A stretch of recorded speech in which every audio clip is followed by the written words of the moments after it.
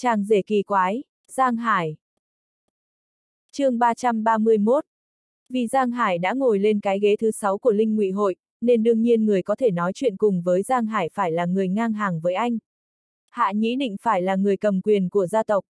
Khi nghe thấy tiếng giày cao gót, cả hai đều biết người đến là ai. Athena của gia tộc Hắc Ám. Khi Athena vừa bước đến cửa, thất hồn đã mở cửa. Cô ấy đi giày cao gót bước vào, chẳng quan tâm đến ánh mắt soi mói của Giang Hải và thất hồn. Khi gặp Athena, Giang Hải mới biết cô gái được mệnh danh là chỉ cần đi ngang qua cũng khiến cánh đàn ông mê đắm. Mái tóc dài gợn sóng màu vàng kim của cô ấy xóa xuống thắt lưng, cô gái mặc một chiếc váy trắng được thiết kế theo kiểu trung cổ. dáng người, phải nói như thế nào nhỉ, giống như một chú ong mật nhỏ vậy, vòng eo thướt tha chỉ nhỏ bằng một vòng tay, khiến cho đàn ông không thể kiềm chế được. Đôi chân thon dài của cô gái trắng như ngọc, hoàn mỹ không tỉ vết. Trên chân cô ta là một đôi giày pha lê, giống như một nàng tiên. Điều khiến đàn ông khó chịu nhất chính là đôi mắt to tròn ngấn nước của cô ta, không phải kiểu thuần khiết, mà hút hồn của họ. Anh chính là anh Giang. Anh khá bất ngờ khi Athena có thể nói được tiếng Trung, tuy phát âm hơi cứng nhưng giọng nói của cô ấy lại nhẹ nhàng, như một luồng hơi nóng phả vào tai người nghe, khiến họ tự động cảm thấy như có một ngọn lửa nổi lên ở trong lòng. Ngọn lửa đó như càng lúc càng bùng cháy mạnh mẽ. Sau một chút thất thần, Giang Hải mỉm cười. Anh Giang, chẳng lẽ, anh không định mời tôi ngồi một chút sao? Athena biết được thân phận Giang Hải, bởi vì trong hai người đàn ông, ánh mắt của Giang Hải vẫn trong suốt, anh không bị sự quyến rũ của cô làm cho mê muội. Audio điện tử võ tấn bền. Giang Hải giơ tay ra hiệu mời cô ngồi. Thất hồn, đóng cửa lại. Trong mũi anh đầy mùi thơm tự nhiên của phụ nữ do cô gái này mang lại, mùi thơm nhẹ nhàng. Thất hồn đóng cửa từ bên ngoài cho đến khi ổ khóa phát ra một âm thanh va chạm nhẹ. Athena nghiêng đầu tò mò đánh giá Giang Hải. Tôi có thể ngửi thấy khí chất đàn ông phương Đông độc đáo từ anh, rất quyến rũ. Một người phụ nữ, đẹp một cách đáng kinh ngạc, chẳng hề che giấu gì khen ngợi một người đàn ông. Chắc chắn chẳng có người đàn ông nào có thể cưỡng lại được sự cám dỗ này. Chỉ cần là một người bình thường, nhất định sẽ cảm thấy mình chính là thiên tử, sẽ chẳng bao giờ quên được đêm nay. Nhưng Giang Hải thì không phải là người đàn ông bình thường. Trong ấn tượng của tôi, đàn ông phương Đông không được yêu thích như vậy. Giang Hải nói thật, có thể loài người là một ngoại lệ, nhưng chung quy lại, thì vẫn là động vật thôi. Trong hàng nghìn năm tiến hóa, thì loài người vẫn chưa bao giờ mất đi bản chất động vật của mình. Để sinh sản ra những đứa con chất lượng tốt nhất, thì những con cái sẽ chọn một người đàn ông khỏe nhất để kết hợp. Bò, ngựa, heo, chó, sư tử, sói, hổ, báo, đều không ngoại lệ. Bởi vì chỉ có mạnh mẽ, mới có thể nhận được nhiều tài nguyên hơn. Chỉ là sự phát triển của xã hội đã làm thay đổi trọng tâm của sự chọn lọc, và phụ nữ thích đàn ông có nhiều tiền hơn. Về cơ bản, sự lựa chọn là tiền bạc, nhưng cũng là tài nguyên. Nguyên nhân khiến đàn ông phương Đông không được lòng phái đẹp là do họ quá hòa nhã, tài nguyên cũng không đủ để kiểm soát. Thực ra, có một điểm khác, đó là các dấu hiệu sống không đạt được yêu cầu của phụ nữ. Thử hỏi, một cây tăm được ném vào ống đựng bút, thì hai thứ đó đúng là chẳng có điểm chung gì. Không, Athena lắc đầu mỉm cười, ánh mắt như hút hồn người khác, anh không giống những người đàn ông phương Đông khác. Giang Hải không muốn thảo luận về vấn đề nhàm chán này, nên anh nhún vai hỏi, vậy thì sao? Có rượu không? Athena nhìn xung quanh, chú ý đến ly rượu vừa mới rót lúc nãy. Ồ, đây là rượu ngon đấy. Cô ta tự nhiên như ở nhà của chính mình, lấy cái ly bên cạnh rót ra hai ly. Cô ta đi đến trước mặt Giang Hải, đưa cho anh một ly. Anh Giang thân mến, lần đầu tiên chúng ta gặp mặt chẳng nhẽ lại không đáng để uống một ly sao? Giang Hải vội vàng đứng lên, khoảng cách giữa hai người quá gần. Xuyên qua áo, anh có thể nhìn thấy dáng người chập trùng của cô ta. Athena, rốt cuộc cô muốn làm cái gì? Cô ta uống một ngụm rượu, nở nụ cười quyến rũ, rất đạt tình, đầy vẻ trêu chọc.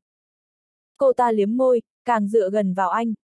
Một đêm tuyệt vời như vậy, chẳng lẽ không nên xảy ra chuyện gì đó sao? Dù có bị đánh chết Giang Hải cũng không thể ngờ, Athena thẳng thắn và nóng bỏng như vậy. Nói cái quái gì mà làm chính sự chứ? Theo dữ liệu thì cuộc sống riêng tư của Athena rất hỗn loạn, vì thế nên Giang Hải mới bảo thất hồn ra ngoài, anh muốn xem xem cô gái này hút hồn người khác tới mức nào. Nhưng không ngờ chỉ vừa mới bắt đầu, Giang Hải đã không chịu nổi. Tôi nghĩ cô sai rồi. Giang Hải khoát tay áo, tôi không phải loại người như cô nghĩ. Oai! Cô ta chưa bao giờ gặp người đàn ông nào không muốn mình, từ trẻ đến già, dù không có phản ứng sinh lý thì nhất định sẽ ôm lấy cô ta. Nếu không thì cái danh Athena xinh đẹp nhất của cô ta là từ đâu ra chứ? Chỉ là lần này cô ta đã sai, bởi vì cô ta đang đối mặt với đế vương, người đại diện cho giới hắc đạo của phương Đông. Một người vô cùng cương trực. Không vì cái gì cả, bởi vì chúng ta không hợp, hơn nữa, tôi đã kết hôn rồi.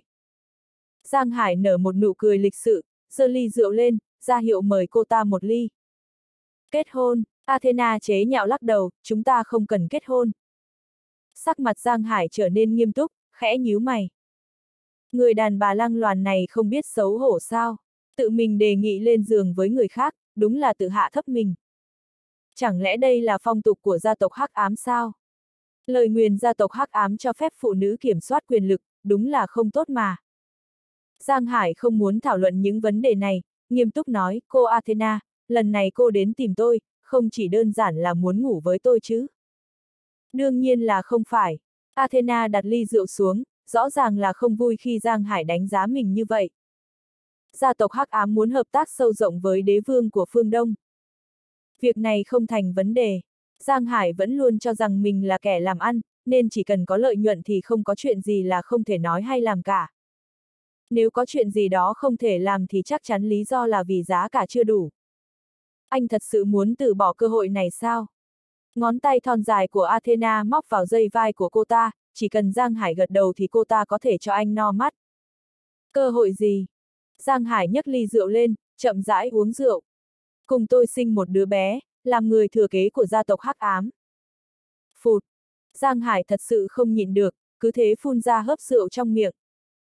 Cô nói cái gì? Cô ta ngồi bên người Giang Hải, ngẩng đầu lên, chẳng lẽ, chuyện này không thể sao? Lợi ích của việc kết hôn với gia tộc Hắc Ám là rất lớn.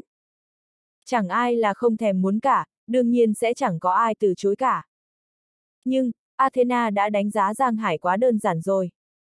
Đề xuất này, cho dù nghĩ bằng lòng bàn chân cũng biết chắc chắn là không thể. Cho dù đó là sự thật, thì gia tộc Hắc Ám sẽ không bao giờ cho phép con của Athena và Giang Hải thừa kế công việc kinh doanh của gia tộc.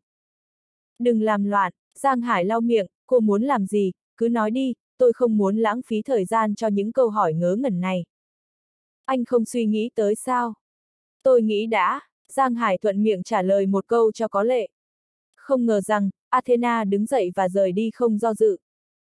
Vậy thì tôi sẽ chờ tin tức của anh. Đây là cách nhanh nhất để đế vương nâng cao vị thế của mình trong linh ngụy hội. Đối với anh mà nói thì chỉ có tốt thôi.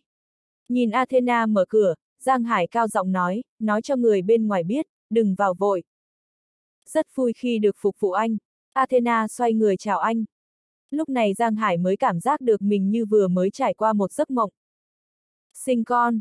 Mới vừa gặp nhau đã nói đến đề tài này, đúng là quá kích thích rồi. Một lúc lâu sau, Giang Hải ngẩng đầu lên mới thấy thất hồn đang nhìn mình bằng ánh mắt rất kỳ lạ. Tuy anh ta đứng ở ngoài cửa, nhưng anh ta vẫn nghe rõ nội dung mà Giang Hải và cô ta nói chuyện gì. Nếu lực lượng của đế vương có thể chiếm được Europa, thì chúng ta... Thất hồn nghẹn cười, tới lúc đó chuyện này sẽ trở thành chuyện cười ở thành phố Giang Tư mất. Cút! Giang Hải cười lạnh một tiếng, bất lực từ từ nhắm mắt lại. Thôi tôi đi ngủ đây, quá kích thích rồi. Khuôn mặt của thất hồn nhìn cười đến vặn vẹo, như bị nội thương đến nghẹt thở. Vài ngày sau, vết thương của thất hồn đã không còn nghiêm trọng nữa, thậm chí trong họa có phúc, thực lực của anh ta còn tăng lên nữa. Tôi sắp đột phá rồi. Thất hồn vui vẻ, ở trình độ của bọn họ, nếu muốn tiến xa hơn, chỉ có thể dựa vào may mắn. Đế vương, anh thì sao? Giang Hải thở dài, tôi, mấy ngày trước, tại Gia Cốp, lẽ ra đã có thể dễ dàng đột phá. Thất hồn hiểu rằng việc khi đột phá mà có người ở bên ngoài là quá nguy hiểm, một khi bị người khác tác động thì hậu quả sẽ rất thảm khốc. Giang Hải cưỡng ép đè xuống, cũng đã làm tổn thương thân thể. Để tìm lại cảm giác đột phá, vẫn cần có may mắn. Đi dạo quanh đảo đi. Ở giữa các đại dương có rất nhiều đảo như thế này.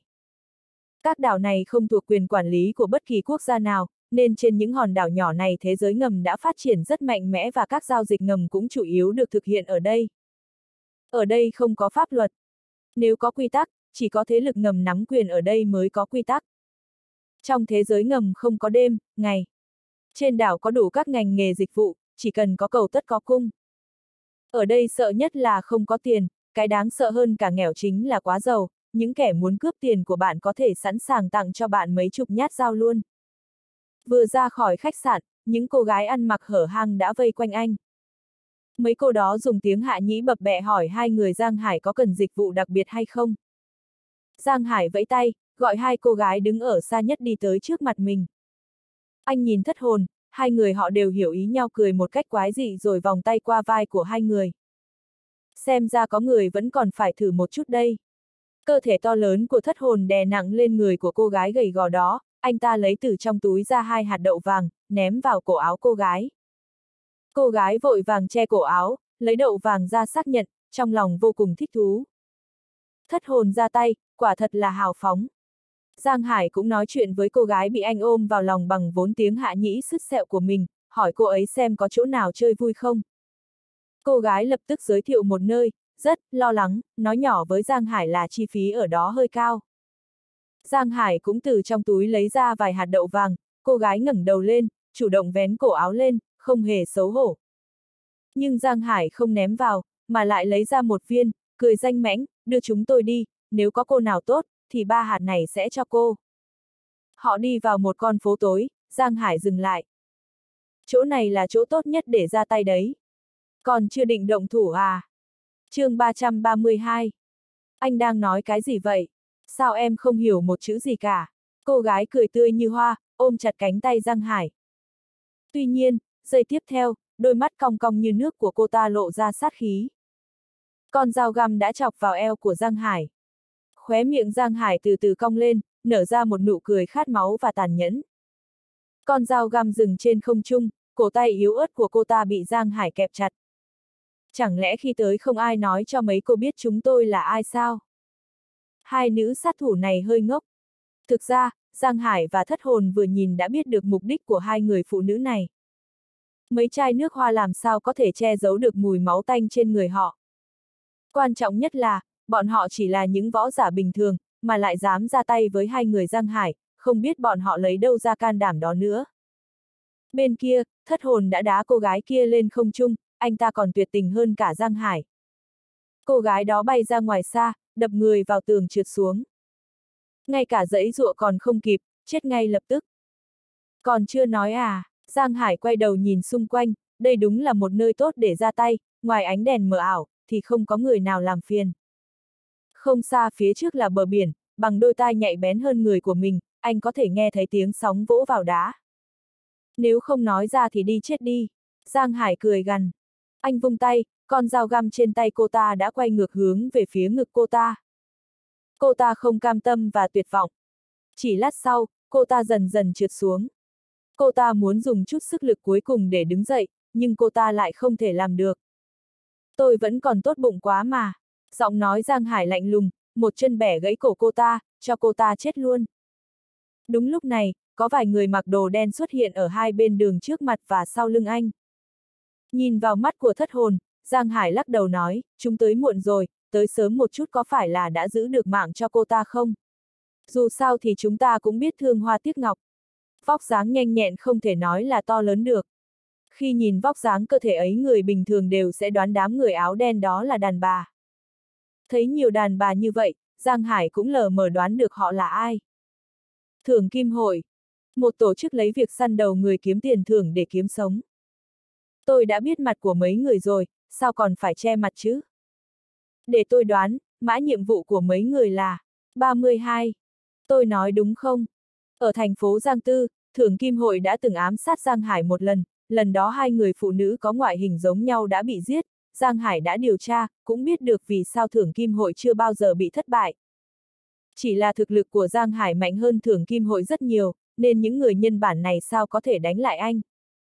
Một tiếng khẽ vang lên, người mặc đồ đen đứng giữa kéo mặt nạ xuống. Quả đúng như anh dự đoán, họ giống hệt những người phụ nữ đã ám sát Giang Hải ở thành phố Giang Tư. Giang Hải xoa xoa đầu, hỏi tôi muốn biết, thưởng kim hội có bao nhiêu phân thân. Nếu không trả lời, thì đừng trách tôi nhẫn tâm. Giang Hải và thất hồn nhìn nhau, thất hồn xoay người, nhìn về phía bên kia. Hai người bước rất nhẹ nhàng, chia nhau đi về phía mấy người áo đen. Có thủ đoạn gì thì dở ra luôn đi, tỏa long khâu chỉ vô dụng thôi. Giang Hải đắc ý cười, loáng cái đã biến mất rồi xuất hiện ở trước mặt mấy người phụ nữ. Trông cũng xinh đẹp đấy, nhưng tiếc là lại bị đào tạo thành quái vật không cảm xúc. Bóng của Giang Hải rất nhanh đã to dần, lúc người phụ nữ đó định giơ tay đánh trả, Giang Hải đã túm được cổ của cô ta. Bàn tay anh dần siết chặt, người con gái đó bị nhấc lên không thể phản kháng được, bên cạnh có tiếng xương gãy. Chỉ cần dựa vào sức nắm của bàn tay mà có thể trực tiếp bẻ cho gãy xương. Mọi người trợn mắt, không thể tin vào mắt mình được. Anh vứt cái xác sang một bên, tinh nghịch nhìn những người phụ nữ khác chưa kịp ra tay. Những người phụ nữ này muốn chạy trốn, nhưng một khi Giang Hải đã ra tay, thì họ làm sao có thể trốn được. Chưa đầy một phút sau, Giang Hải đã dùng một viên đá nhỏ đập vào đầu của người cuối cùng. Khi anh quay người lại, thất hồn đã xong rồi, đang đứng chắp tay phía sau. Cậu đối với phụ nữ tàn nhẫn thế, chẳng thương hoa tiếc ngọc gì cả. Giang Hải lắc đầu. Nhưng thất hồn chỉ đưa mắt nhìn sang chỗ khác, hơi nhíu mày. Kiếm thiêm có thể phát hiện ra kẻ đang trốn trong bóng tối, thì đương nhiên Giang Hải cũng phát hiện ra. Dọn dẹp sạch sẽ chỗ này đi.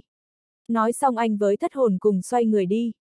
Ai là người ở trong bóng tối không quan trọng, Giang Hải chỉ biết anh ta nhất định là thành viên của Linh Ngụy Hội, mọi hành động của Giang Hải ở trên đảo đều không thoát khỏi tầm mắt của bọn họ. Không chỉ Giang Hải, mà những người khác trong lúc bị theo dõi cũng sẽ theo dõi những người khác. Họ làm như vậy cũng là vì sợ chết. Những người đến dự linh ngụy hội đều là những ông chủ chân chính, những người biết giữ lời hứa. Chỉ cần hai bên đạt được sự đồng thuận thì nửa thế giới sẽ bị ảnh hưởng. Vô lý, Giang Hải thì thào nói. Bị thất bại một lần, chắc chắn thưởng kim hội đã phải hiểu rõ về thân thủ của Giang Hải mới đúng.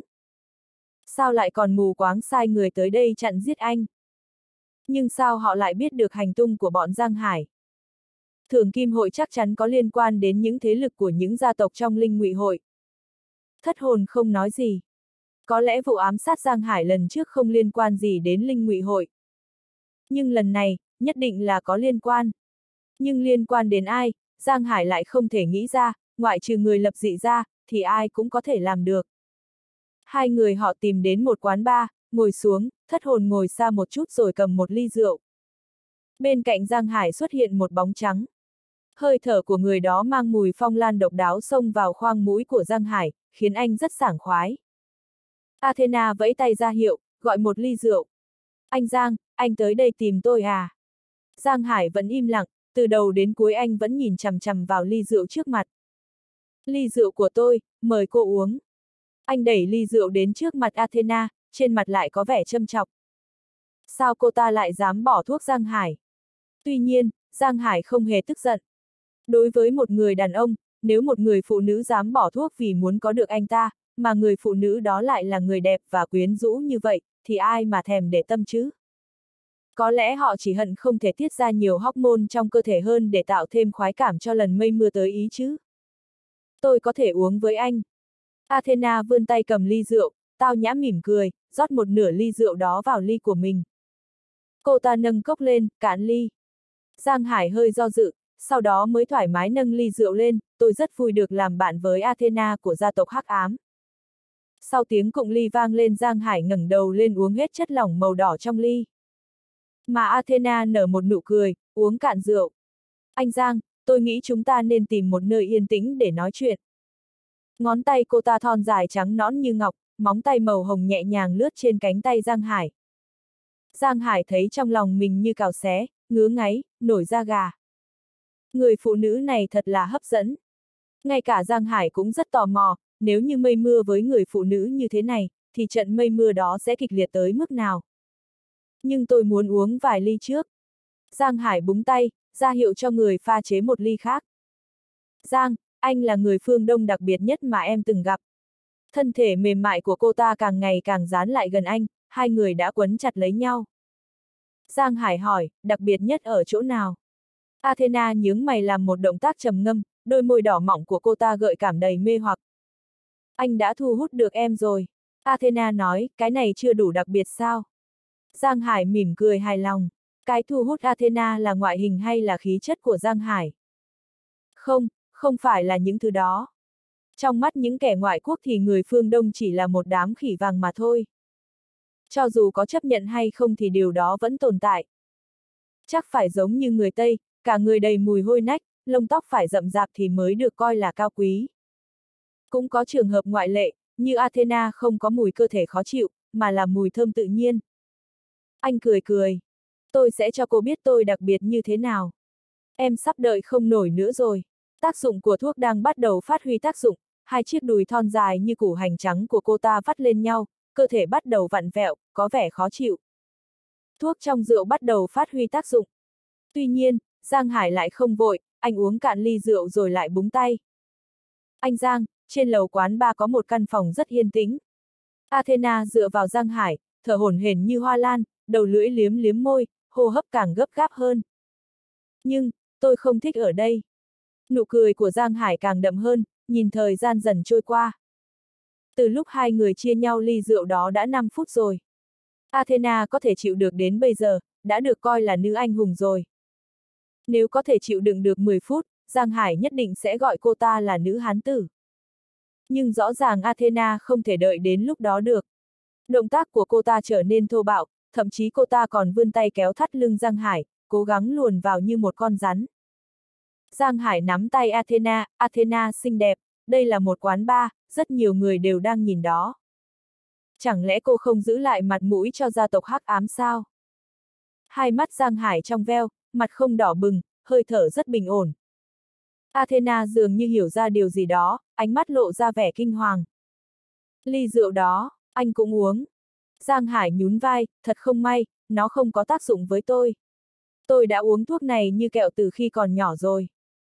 Thật ra anh nói thường xuyên uống là nói dối, nhưng đối với Giang Hải, thuốc bình thường sẽ không có tác dụng gì. Bởi vì Giang Hải tu luyện hạo nhiên chi khí, hạo nhiên chi khí sẽ bảo vệ tâm của người đó trong sạch từ đầu đến cuối, tinh thần không bao giờ cho phép những tạp niệm xâm nhập. Không, không, vớ vẩn. Miệng thì nói như vậy nhưng tay Athena thì giữ chặt Giang Hải hơn. Hụt đã tăng cao kích thích các dây thần kinh nhạy cảm của cô ta. Cô nghĩ sao cũng được. Vừa rồi, vừa rồi anh nói, cho em biết anh đặc biệt như thế nào. Giang Hải từ từ đứng dậy, đẩy Athena ra, giữ một khoảng cách nhất định với cô ta. Anh làm ra vẻ chống cự, chẳng lẽ việc thuốc của cô không có tác dụng với tôi, không đủ đặc biệt sao? Anh phất phất tay, hẹn gặp lại ở Linh Ngụy Hội.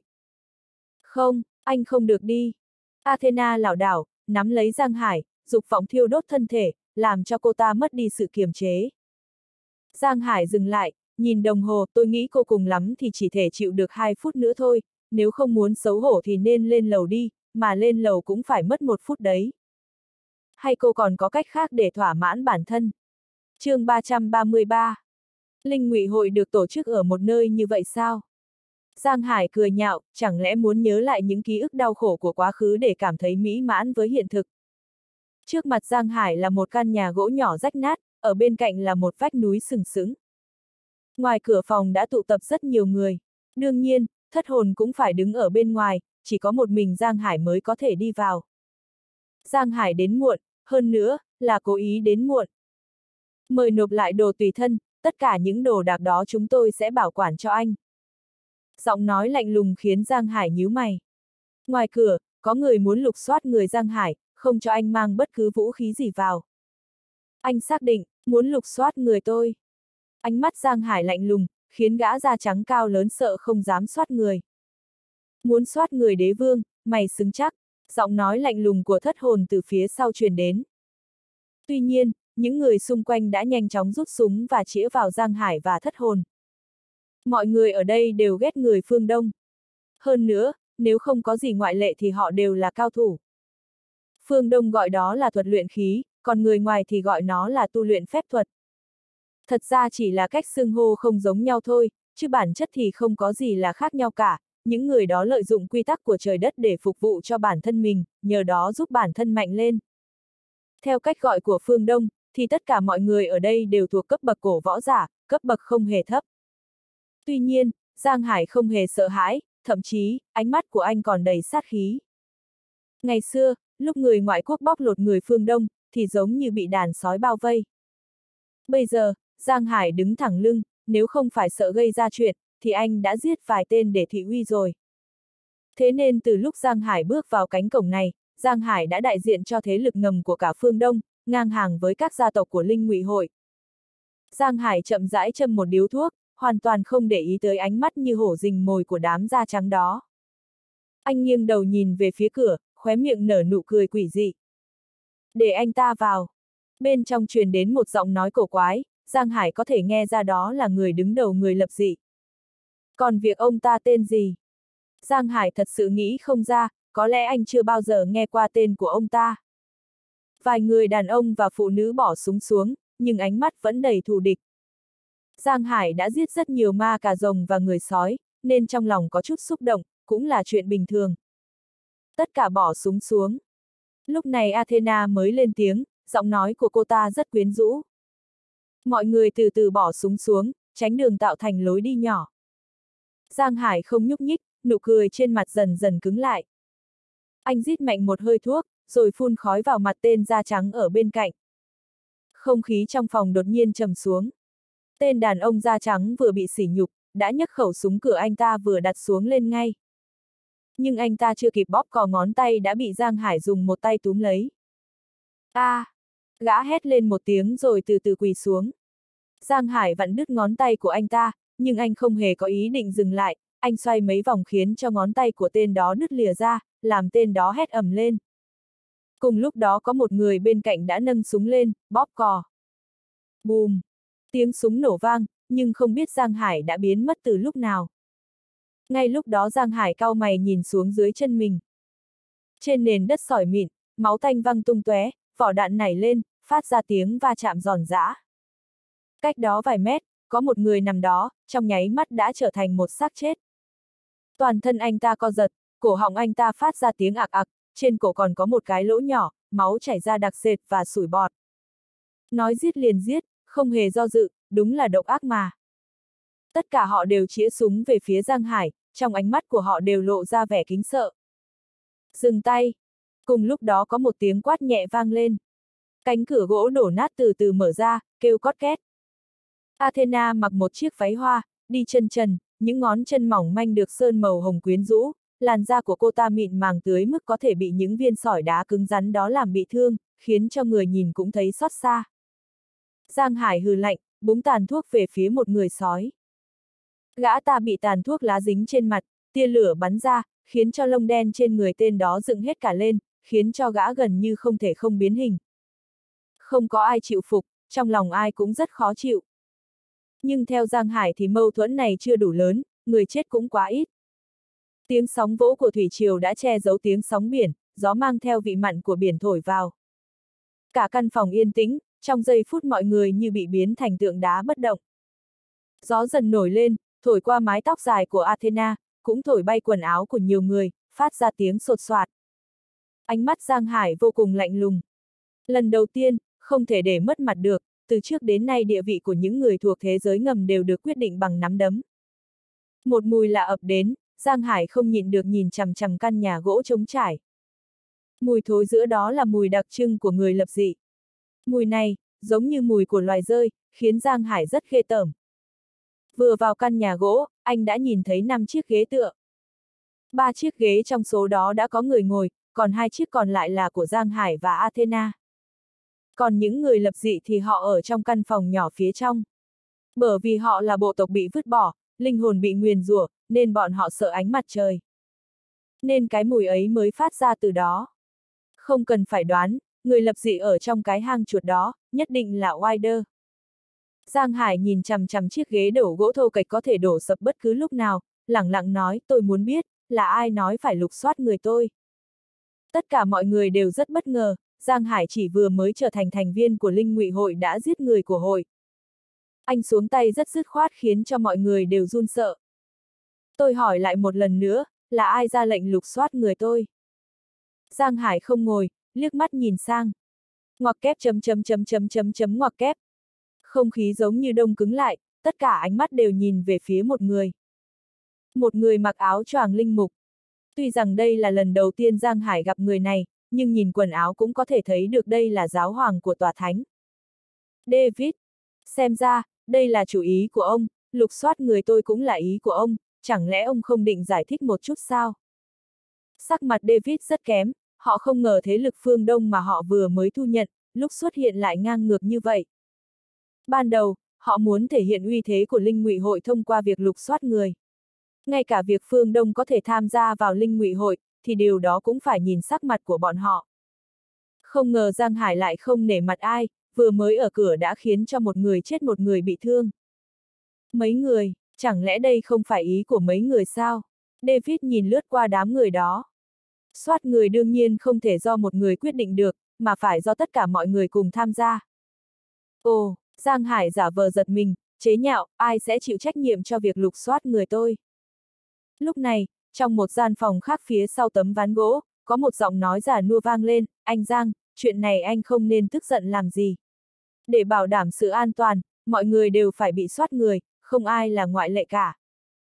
Thật khó có thể tin được lãnh đạo của người lập dị, người nắm giữ khối tài sản nhiều nhất thế giới, lại nói chuyện với Giang Hải nhẹ nhàng như vậy. Nghe xong lời nói của Wider, Giang Hải cười khinh thường, ngạo nghễ nói, đó là quy tắc của mấy ngươi, không phải của tôi.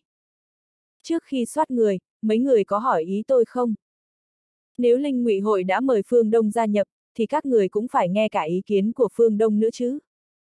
Tôi không phải là khách của các người, càng không cần phải cầu xin mấy người. Từ nay về sau tôi cũng là một người trong Linh Ngụy Hội.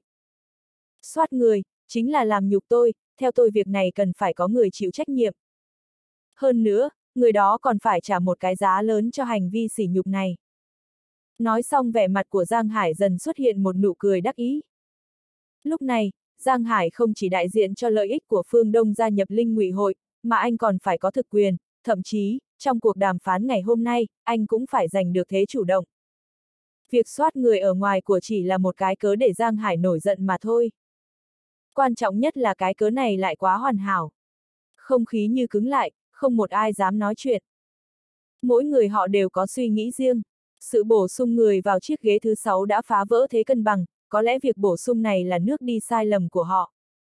Để đế vương độc quyền chiếm giữ chiếc ghế của nhà vua, người lập dị đã phải trả một cái giá rất đắt.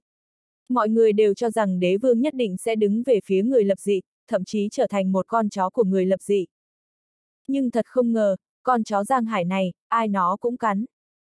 Nó hoàn toàn là chó điên, giết người, hơn nữa còn bắt bọn họ phải giải thích, chẳng hề nề mặt bọn họ một chút nào. Giang Hải cười nhạo, nhìn Athena. Nếu, tôi nói cho cô biết cách giải trừ lời nguyền mà gia tộc Hắc Ám đang phải gánh chịu, thì có có muốn biết không? Athena giật mình. Lời nguyền này, không chỉ là khiến đàn ông sẽ chết nếu thừa kế vị trí chủ gia tộc, mà còn có nhiều di chứng khác nhau của việc kết hôn cận huyết. Anh, nói thật sao? Giang Hải bình thản nói, người Do Thái cũng giống như các người, cũng bị nguyền rủa, nhưng đã có người lập dị chữa khỏi rồi. Sự việc này, đối với người lập dị là tuyệt mật, nhưng đối với Giang Hải thì đó chỉ là một viên thuốc nhỏ. Để cả gia tộc giải trừ được lời nguyền thì là không thể, nhưng để giải cho một vài người thì điều đó dễ như trở bàn tay. Anh Giang. Giang Hải giơ tay ngắt lời Athena. Anh quay lại và nhìn Philip. Tôi nghe nói vương miện của Rudolph, đại diện cho quyền lực đế quốc của Hardy, vẫn luôn được cất giữ trong lâu đài Eagle, phải không? Lây đài Eagle, hay còn được gọi là lâu đài Hardy, là di sản của gia tộc, ngay cả những người trong linh ngụy hội cũng không biết vị trí thực sự của lâu đài này. Mà, vương miện của Rudolf lại được coi là do Chúa ban tặng, để thay thế các vị thần cai trị hàng nghìn sinh linh. Chỉ là chiếc vương miện này đã bị mất trong một cuộc chiến. Gia tộc Hardy không thừa nhận kho báu thừa kế đã bị mất, nhưng họ vẫn bí mật tìm kiếm tung tích của chiếc vương miện này khắp thế giới. Họ đã tìm kiếm hơn 10 thế kỷ rồi. Nghe vậy, sắc mặt Philip thay đổi rõ rệt, ông ta là thủ lĩnh của gia tộc Hardy, sao có thể không hiểu được ý tứ trong lời nói của Giang Hải được cơ chứ? Giang Hải có thể nói ra được câu này, có nghĩa là Giang Hải biết phương miện của Rudolph đang ở đâu. Lúc này, Philip nghĩ đến rất nhiều khả năng. Có lẽ, phương miện của Rudolph đang nằm trong tay Giang Hải, giống như cựu ước bản khắc đá vậy. Sao cậu lại biết được phương miện của Rudolph? Giang Hải cười lạnh, từ từ xoay người. Tôi là đế vương đại diện của phương Đông. Điều tôi muốn là bình đẳng tham gia linh ngụy hội. Nhưng tôi không thể chấp nhận được sự sỉ nhục của mấy người, vì vậy, tôi quyết định không tham gia linh ngụy hội nữa. Nói xong câu đó, hai tay Giang Hải sỏ vào túi quần, ung dung đi ra ngoài.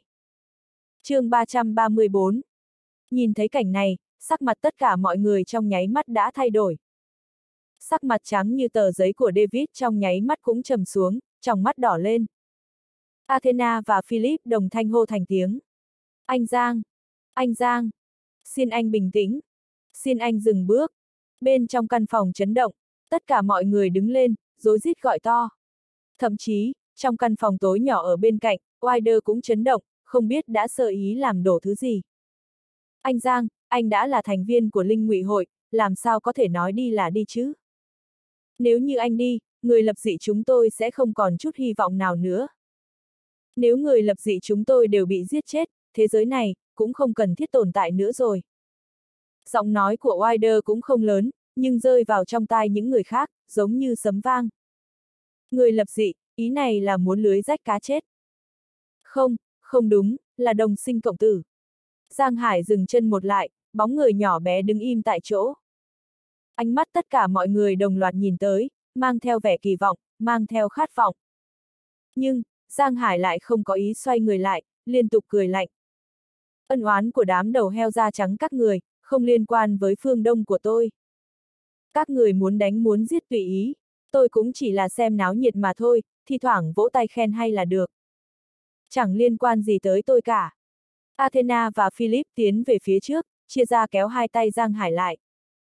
Mà sắc mặt Giang Hải lại trầm xuống, các người, tốt nhất nên buông tay tôi ra, tránh cho con heo da vàng như tôi làm dơ hai tay các người. Heo da vàng, vốn là từ ngữ miệt thị của đám người da trắng gọi người của phương Đông, lần này Giang Hải thật sự đã rất bất mãn. Mặc dù không thể biết trong lòng bọn họ nghĩ như thế nào, nhưng ít ra, anh muốn cho những người da trắng này biết, ngay trước mặt mình làm nhục phương Đông, sẽ phải trả cái giá thê thảm như thế nào. Cả người Philip run lên một cái, trong con mắt lộ ra vẻ tuyệt vọng, tựa như đụng phải điện, lập tức rút tay lại. Dù thế nào ông ta cũng không thể ngờ, Giang Hải vậy mà lại biết được nơi cất giấu vương miện của Rudolph thất truyền đã lâu. Bên kia, tay Athena lại nắm chặt hơn, giọng nói run rẩy, chỉ cần anh ở lại, muốn tôi làm cái gì cũng được. Chỉ có Giang Hải ở lại, mới có năng lực để giải trừ lời nguyền của hắc ám. Bả vai Giang Hải run lên một cái, gạt văng cánh tay của Athena ra, ánh mắt lạnh như băng. Ở trong mắt Giang Hải, Athena có xinh đẹp mấy thì cũng chỉ như một bộ xương trắng mê hoặc chúng sinh mà thôi. Tay của Giang Hải đã chạm trên cái cửa gỗ đổ nát, kéo nắm tay, lập tức truyền tới âm thanh làm cho người ta cảm thấy kến răng lạnh sống lưng. Nhưng, trong lúc này, giọng nói của Wider lại vang lên lần nữa. Mưa lớn sắp tới rồi, chúa tạo đã ra con thuyền của Noe. Mà lần này, không có ai có thể tránh khỏi những hạt mưa này, không ai có thể đứng ở bên ngoài, con thuyền của Noe, vĩnh viễn sẽ không xuất hiện lại nữa. Nếu như, kèn hiệu của chiến tranh thổi lên, trên thế giới này, bất kỳ nơi nào cũng không thể may mắn tránh khỏi, phương Đông, cũng không ngoại lệ. Anh Giang, tôi nghe nói, chức trách của đế vương, là bảo vệ lợi ích của phương Đông, anh hẳn là biết, hòa bình mới là hy vọng của tất cả mọi người. Giang Hải dừng tay lại, cửa vẫn khép hờ. Tiếp đoa, chậm rãi nghiêng đầu, khóe miệng hiện ra vẻ dữ tợn. Trong nháy mắt, Giang Hải biến mất tại chỗ, một khắc sau, xuất hiện ở trước tấm ván trên mặt tường. Dầm! Một quyền, Giang Hải đấm ra một cái lỗ thủng trên tấm ván. Ánh sáng lập tức soi vào căn phòng nhỏ tối tăm, một cảnh hỗn loạn, giống như một con chuột đột nhiên bị ánh sáng dọi đến muốn hoảng hốt chạy thoát thân. Các người có con thuyền của Noe, nhưng chúng tôi không có. Giang Hải nhìn chằm chằm vào cái lỗ đen trên tấm ván, lạnh lùng nói. Phương Đông cho tới bây giờ không gửi gắm hy vọng vào thần linh tới cứu. Điều các người làm là chờ con thuyền của Noe, mà người Đông Phương chỉ quen trị thủy, với một đôi bàn tay cần cù, cho dù đối mặt với khó khăn hơn nữa, cũng đủ để gặp giữ hóa lành. Ánh mắt liếc về phía Athena. Người phương Đông nói không sai, có nghe nói qua chuyện đại vũ trị thủy chưa? Cũng là đại hồng thủy, chúng tôi cho tới bây giờ cũng không trông mong có người khác tới cứu. Tôi nói, có đúng không? Cái này, chính là hai dân tộc, hoặc là sự khác biệt giữa hai nền văn hóa. Thần của bọn họ sẽ tha thứ tất cả tội ác của bọn họ, phạm sai lầm rồi hối cải, tiếp theo sau đó lại phạm sai lầm rồi tiếp tục hối cải. Phương Đông thì không như vậy, bọn họ biết, trừ bản thân mình ra, không ai có thể cứu bọn họ. Chiến tranh, nếu các người muốn đánh, vậy cứ tùy ý đi. Giang Hải một lần nữa lại đi ra phía ngoài, làm ra dáng vẻ thật sự muốn đi. Hơn nữa, bước chân lần này nhanh hơn rất nhiều, không ai nghi ngờ gì nữa, Giang Hải sẽ rời đi thật. Nếu ai muốn động tới một chút lợi ích của phương Đông, tôi sẽ dốc hết toàn lực, cùng người đó lấy mạng đổi mạng. Đừng hoài nghi lời tôi nói, bởi vì, tôi có cái thực lực này. Lời Giang Hải âm lãnh, khiến cho người nghe cảm thấy sợ hãi. Người này là người như thế nào? Mọi người đều đang suy nghĩ, nếu như phương Đông đều là thứ người như vậy, ngày mai, cái thế giới này ắt sẽ do phương Đông thống trị. Nhưng, bọn họ không biết, phương Đông vốn không có hứng thú đối với việc thống trị đám đầu heo da trắng này. David ảo não hết sức, hối hận không thể quay về lúc ban đầu. Ông ta cắn chặt răng, thầm trách mình, tại sao lại đưa ra cái đề nghị đó chứ? Ai mà ngờ được, Giang Hải lại có phản ứng mạnh như vậy. Giang Hải đã mở cửa ra, ánh sáng chói mắt bắt đầu chiếu vào. Trong bóng tối, Wilder nhìn chằm chằm vào tấm ván đã bể tan tành, trên tấm ván, đã bị Giang Hải dùng một quyền đập ra một cái lỗ thủng. Anh Giang, xin dừng bước. Giang Hải vẫn thở ơ. David, lập tức nói xin lỗi anh Giang đi. Lập tức xin lỗi. Vẻ mặt David biến sắc, ông ta là giáo hoàng của tòa thánh, thân phận và địa vị vô cùng tôn quý. Tại sao lại phải đi xin lỗi một tên đầu heo da vàng chứ? David, phiền ông xin lỗi anh Giang đi. Nói xin lỗi mau đi. Đám người Athena, Philip gầm nhẹ. David, nói xin lỗi đi, chẳng lẽ ông muốn đẩy tòa thánh vào chiến tranh sao? Chẳng lẽ ông muốn tòa thánh biến mất hoàn toàn khỏi thế giới này sao? Chẳng lẽ, ông muốn bốn người chúng tôi bỏ phiếu, khai trừ ông khỏi linh ngụy hội sao? Cho dù tòa thánh có số lượng tín đồ phân bố rộng rãi nhất, cho dù thế lực của tòa thánh không sợ bất kỳ người nào, cho dù tòa thánh có thánh kỵ sĩ. Vậy thì như thế nào chứ, không ai mạnh đến mức có thể làm kẻ địch của cả thế giới. Lúc này, Giang Hải đã đại biểu cho chính nghĩa của thế giới này. Những lời chất vấn cùng thúc giục, giống như một mũi dao nhọn, mạnh mẽ cắm vào trong tim của David. Ông ta không cam lòng, giờ khắc này, răng cắn chặt như muốn vỡ ra. Mặt mũi nhăn nhó.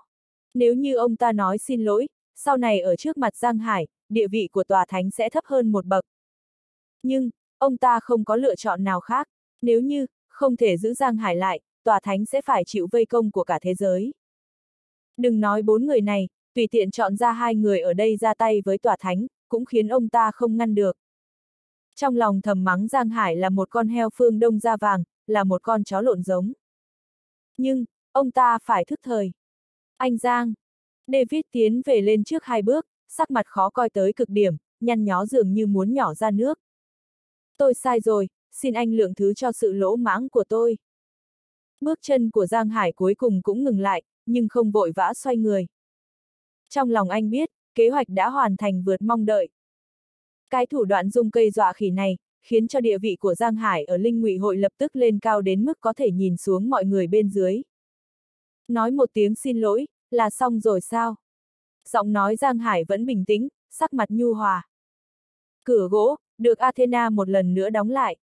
Trong phòng, một lần nữa trở lại bầu không khí yên lặng, không có một chút âm thanh nào. Chỉ cần người không ngốc, có thể nhìn ra được, Giang Hải đang đứng lên trên đài tuyên án, vung vẩy cái búa của thẩm phán để lừa gạt mọi người. Tất cả mọi người đều không thể ngờ, Giang Hải lại là tiểu nhân vô sỉ như vậy, tham lam hèn hạ đến mức khiến người ta giận sôi lên. Chỉ vì bị lục soát người, mà lợi dụng điểm yếu của mỗi người để uy hiếp họ. Quan trọng nhất là, bản thân Giang Hải lại không bị lục soát. Wilder từng có mấy lần qua lại với Giang Hải, nên càng hiểu rõ hơn con người anh, việc đồng ý cho Giang Hải gia nhập linh ngụy hội, cũng là bất đắc dĩ. Ông ta đã chuẩn bị tinh thần, kiểu gì cũng sẽ lại bị Giang Hải tham lam đưa ra yêu cầu. Chỉ cần có thể đến vùng đất lập thí, chỉ cần có thể giải quyết lời nguyền trên mình của người lập dị, những cái khác đều không quan trọng. Đến khi mà Giang Hải không còn giá trị lợi dụng nữa, đến lúc đó mới có thể ra tay giết Giang Hải. Giờ khắc này, suy nghĩ của những người khác cũng giống như vậy. Gã Giang Hải này, nhất định không thể lưu lại. Giang Hải tiến lên một bước, ánh mắt nhìn David chằm chằm. Giáo hoàng David, cho tôi hỏi, ông định dùng gì để bù đắp tổn thương tinh thần cho tôi? Anh Giang, anh muốn cái gì?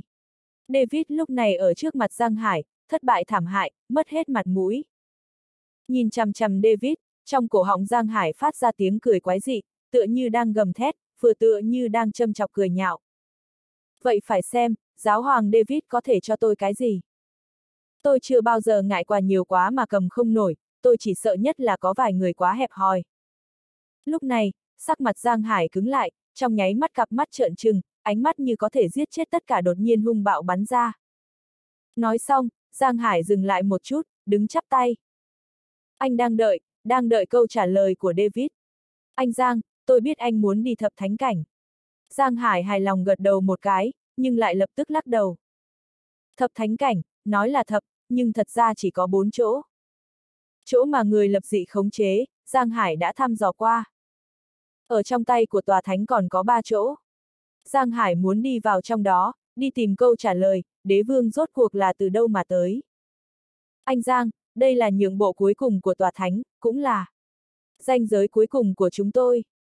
Giang Hải bình tĩnh nói, thập thánh cảnh cũng được, có điều, tôi muốn được đi xem cả ba cái thập thánh cảnh mà tòa thánh đang nắm trong tay. Thấy David muốn từ chối, Giang Hải cười gằn, giơ ngón tay chỉ thẳng mũi David. Ông không có quyền đưa ra điều kiện, lời tôi đã nói ra khỏi miệng, thì nhất định phải đạt được. Trước mặt ông, bây giờ, chỉ có hai con đường, đồng ý hoặc là từ chối. Tôi đếm đến năm, ông phải đưa ra quyết định. Vừa nói xong, Giang Hải giơ ra năm ngón tay. Năm. Lúc này, ánh mắt tất cả mọi người đều tập trung ở trên người David. Mặt mũi vốn dữ tợn thì lúc này càng trở nên dữ tợn hơn, nếu như David không đồng ý, trận đại chiến này, sẽ không thể nào tránh khỏi. 4. Giang Hải có một ngón tay lại, từ từ xoay người. Tôi là một người không quen thay đổi ý định, khi tôi bước ra khỏi cái cửa này, cho dù đưa cho tôi toàn bộ thập thánh cảnh, tôi cũng không còn hứng thú. 3, 2, 1. David, ông nếu muốn chết, cũng lôi kéo theo người lập dị chúng tôi chết cùng chứ. Phía sau tấm ván, Wider đang điên cuồng gầm thét. chương 335. David chán nản ngồi xuống, mặt vàng như đất, ông ta không thể không đồng ý. Bị uy hiếp và làm nhục như vậy, khiến cho hô hấp của David cũng suýt chút nữa ngưng lại. Đường đường là một giáo hoàng của tòa thánh, lại bị một gã thanh niên đến từ phương đông ép cho không thở nổi. Thể diện cùng với uy tín tòa thánh rơi đầy đất. Nhưng, cho dù không phải là bị những người khác thúc ép, vì cân nhắc lợi ích của tòa thánh, ông ta cũng phải đồng ý. Đã hết giờ. Tôi đồng ý, một giây cuối cùng, David chậm rãi nâng mí mắt lên. Ông ta thua, thua triệt để. Không phải người thanh niên trước mắt này quá mạnh mẽ, mà là trong tay Giang Hải có quá nhiều con át chủ bài. Giang Hải có thể tìm được vùng đất lập thí, Giang Hải dùng tấm đá chứa kinh cựu ước để đổi trác với người lập dị, Giang Hải có biện pháp để chữa lời nguyền cho người lập dị, anh còn biết tung tích nơi cất giấu vương miện của Rudolph. Tất cả mọi người đều đang suy nghĩ, Giang Hải giống như một thần linh vậy, biết được toàn bộ bí mật của thiên hạ. Nhún vai một cái, Giang Hải quay người lại ngồi xuống. Mặt mỉm cười, giống như vừa rồi chưa từng có chuyện gì xảy ra. Athena xinh đẹp, chẳng lẽ cô không muốn tới ngồi ở bên cạnh tôi sao? Tôi bị vẻ quyến rũ của cô mê hoặc rồi. Philip, chẳng lẽ ông không muốn nói vào chuyện chính luôn sao? Ông cứ đứng như vậy, tôi lại cảm thấy mình có chút vô lễ. Bầu không khí rất là quỷ dị. Trên mặt của mỗi người đều mang theo vẻ khó hiểu. Tốc độ thay đổi sắc mặt của Giang Hải, một lần nữa làm thay đổi cách nhìn của bọn họ với con người này. Luồn tay vào trong ngực, Giang Hải rút ra một tấm bản đồ, là bản đồ thế giới. Trên bản đồ, có đánh dấu một phạm vi vô cùng lớn. Nếu mọi người đều cho rằng, đế vương là đại biểu cho phương Đông, như vậy chỗ này, có tính là phạm vi do tôi quản lý hay không? Giang Hải đơn giản là vẽ ra một vòng tròn, ngoài phương Đông ra, bên trong còn có mấy chục quốc gia, cả Hàn Quốc cũng ở bên trong đó. Những chỗ này, đều có thế lực của đế vương thâm nhập vào. Hội nghị lần này, Giang Hải chính là muốn hoàn toàn khống chế những khu vực này ở trong tay. Cái gọi là khống chế đó là, đuổi tất cả những đối thủ cạnh tranh ra ngoài, quyền lên tiếng ở thế giới thế giới ngầm, chỉ còn lại một mình đế vương. Giang Hải chính là muốn làm vị vua trong bóng tối của toàn bộ khu vực này. Không ai không hiểu ý của Giang Hải, nhưng lần này, mọi người cũng đã thông minh hơn, không ai dám mở lời trước. Bọn họ sợ, sợ cái gã Giang Hải hỉ nộ bất thường này đột nhiên tìm ra tật xấu của mình, một lần nữa lại làm ra cái tiết mục nhấc mông rời đi uy hiếp bọn họ. Quét mắt nhìn một vòng, Giang Hải khẽ cau mày, nếu tôi nhận lấy phạm vi lớn này, có phải đã ảnh hưởng tới lợi ích của mọi người không? Linh Ngụy Hội, tên gọi mang ý nghĩa là duy trì hòa bình. Nhưng trên thực tế, là duy trì lợi ích của mấy đại thế lực, chỉ cần những người đang ngồi ở đây hòa bình, thế giới này cũng sẽ không nổi lên sóng gió gì. Vẫn như cũ không một ai lên tiếng, sắc mặt Giang Hải dần dần trầm xuống. Trong căn phòng nhỏ phía sau tấm ván, Wider vốn rất sợ ánh sáng lúc này cũng lên tiếng, chúng tôi không có ý kiến gì. So sánh với sinh tử tồn vong của cả gia tộc, lợi ích của bọn họ ở phương Đông không đáng kể gì. Cái mà người lập dị lo lắng là Giang Hải lúc nào sẽ lấy đi vùng đất lập thí của bọn họ. Giang Hải mỉm cười hài lòng, các người thì sao? Không có ý kiến. Không có ý kiến. Tất cả mọi người cùng một vẻ mặt như vậy. Chỉ có Philip sắc mặt có chút do dự, không phải là gia tộc Hardy có lợi ích gì khó bỏ ở phương Đông, chẳng qua là ông ta đang muốn biết tung tích của vương miện Rudolph mà thôi. Muốn để cho Giang Hải mở miệng, không bỏ ra cái giá khiến mình đau lòng là tuyệt không thể nào. Anh Giang, vương miện của Rudolph, thái độ Giang Hải lập tức trở nên lãnh đạm, chơ cháo cười mà không nói, ông Philip, chúng ta bây giờ đang bàn tới phạm vi thế lực, những chuyện riêng giữa chúng ta không nên nói ở đây, tránh chậm trễ thời gian của mọi người. Cùng một món ăn, nhưng Giang Hải muốn ăn của gia tộc Hardy 10 năm, thậm chí lâu hơn nữa. Chỉ cần gia tộc Hardy không thật sự có được vương miện, thì tuyệt đối không dám làm chuyện gì bất lợi đối với Giang Hải. Ông Philip, tôi phân chia như vậy, ông có ý kiến gì khác hay không? Philip lúc này chỉ có thể đồng ý, trong lòng hận Giang Hải đến tận xương tủy, hận không thể lập tức nhào tới cắn chết Giang Hải. Nếu mọi người cũng không có ý kiến gì khác, như vậy từ giờ tất cả những giao dịch ở khu vực này, đều phải thông qua đế vương. Những lời này nói ra, tự nhiên không có ai lên tiếng phản đối, nhưng cũng không có ai bày tỏ ý kiến tán đồng. Lúc này, tất cả mọi người đang ngồi ở đây, đúng ra mà nói, đều đã bị Giang Hải nắm thóp rồi. Không được đế vương cho phép, các người tuyệt đối không thể bước vào khu vực này nửa bước. Điều này, có vấn đề gì không? Giang Hải khẽ mỉm cười, hành lễ rất lịch sự với mọi người. Chuyện mà Giang Hải muốn đã nói xong rồi, những người khác còn có cái gì cần nói cũng không liên quan gì với Giang Hải nữa. Không muốn nghe, cũng không muốn có ý kiến gì, liền cáo từ rời đi. a à, không, anh Giang. Athena gấp gáp, chặn trước mặt Giang Hải. Những người khác cũng đồng thời trở nên căng thẳng. Cái mà Giang Hải muốn, bọn họ đều đồng ý rồi.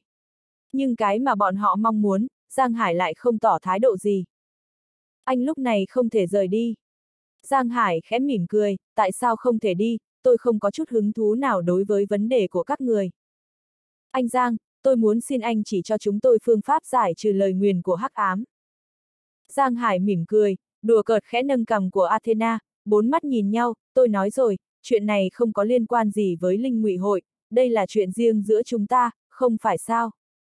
Trong con mắt của Giang Hải, từ đầu đến cuối vẫn không có bất kỳ dục niệm nào, điều này đối với Athena mà nói, lại là một loại đả kích. Cô không biết mình nên dùng phương pháp gì mới có thể công phá được Giang Hải. Anh Giang, chúng tôi còn có một phần quà còn chưa đưa ra cho anh. Wider lên tiếng, lão hồ ly túc trí đa mưu này, có thể nhìn thấu tâm tư của Giang Hải. Quà, đồ tặng miễn phí, nếu như cự tuyệt không nhận, vậy chính là đồ ngốc rồi. Cửa gỗ bị đẩy ra, một luồng sáng chiếu thẳng vào. Con mắt Giang Hải hơi co lại. Ngoài cửa, chín cô gái mặc đồ trắng như tuyết, chỉnh tề đứng ở đấy. Các người, có ý gì đây? Không phải tất cả đàn ông đều bị nửa thân dưới chi phối sao, nhưng ít ra, Giang Hải là ngoại lệ trong số đó, gặp phải bất kỳ chuyện gì, Giang Hải cũng rất bình tĩnh suy xét. Những cô gái này, là quà mà chúng tôi đặc biệt chuẩn bị cho anh. David cuối cùng cũng lên tiếng. Barrett nói, những cô gái này là người của gia tộc Gandhi. Cô gái này, là công chúa của đệ nhất đế quốc, từ hôm nay trở đi, anh sẽ là chủ nhân của cô ấy. Cô gái này, là nam tước ở Pháp, mang trong mình dòng máu cao quý. Còn người này, trong 9 người này, Giang Hải chỉ nhận ra một người. Chẳng biết lúc nào, Maureen lại rời khỏi phương Đông, kiểu ăn mặc toát ra thần thái thánh khiết này, một lần nữa lại xuất hiện ở trước mặt Giang Hải. Giang Hải cười, cái này thật sự là hiểu lầm rồi. Ở Thái Lan, Giang Hải nói với người lập dị mình muốn Maureen, có lẽ khiến cho người ta hiểu lầm anh là loại người háo sắc. Cũng khó trách, là đàn ông mà, có mấy ai có thể qua ải mỹ nhân chứ? Giang Hải đang suy nghĩ làm thế nào để từ chối, tốt nhất, cũng từ chối luôn cả Maureen. Mà lúc này, Athena đang đứng ở bên cạnh Giang Hải lên tiếng, tôi là người thứ 10. Hửm. Giang Hải dù thế nào cũng không thể ngờ được, những người này, lại chịu bỏ ra vốn lớn như vậy. Nếu như thu nhận hết những cô gái này, nếu là một người đàn ông bình thường, sẽ không cưỡng lại được những trận mặc sức chăn gối này, rồi sẽ sớm làm lộ ra những bí mật trong lòng, chờ đến lúc bản thân không còn giá trị lợi dụng, cũng là lúc sinh mệnh sẽ kết thúc.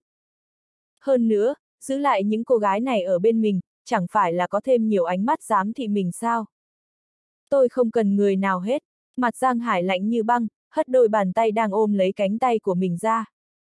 Lời của Giang Hải là thẳng thừng từ chối, ngay cả Maureen cũng không có ý định muốn giữ lại. Cho tới nay, Giang Hải cũng không muốn phát sinh chuyện gì với người con gái thánh khiết này.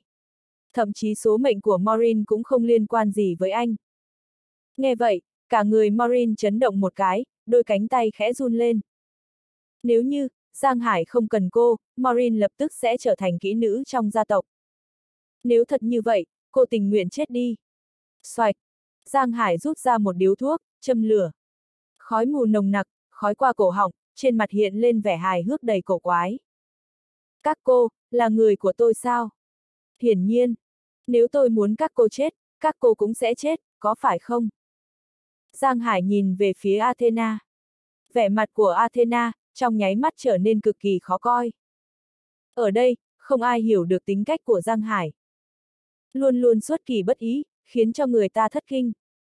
Có trời mới biết tiếp theo Giang Hải sẽ nói cái gì, sẽ làm cái gì. Nếu không được, Giang Hải giễu cợt vậy, tôi cần các cô làm gì nhỉ? Mọi người đều không biết phải nói gì. Nếu như nói có thể, Giang Hải lập tức muốn những người này chết đi, chẳng lẽ Athena cũng phải chết theo sao?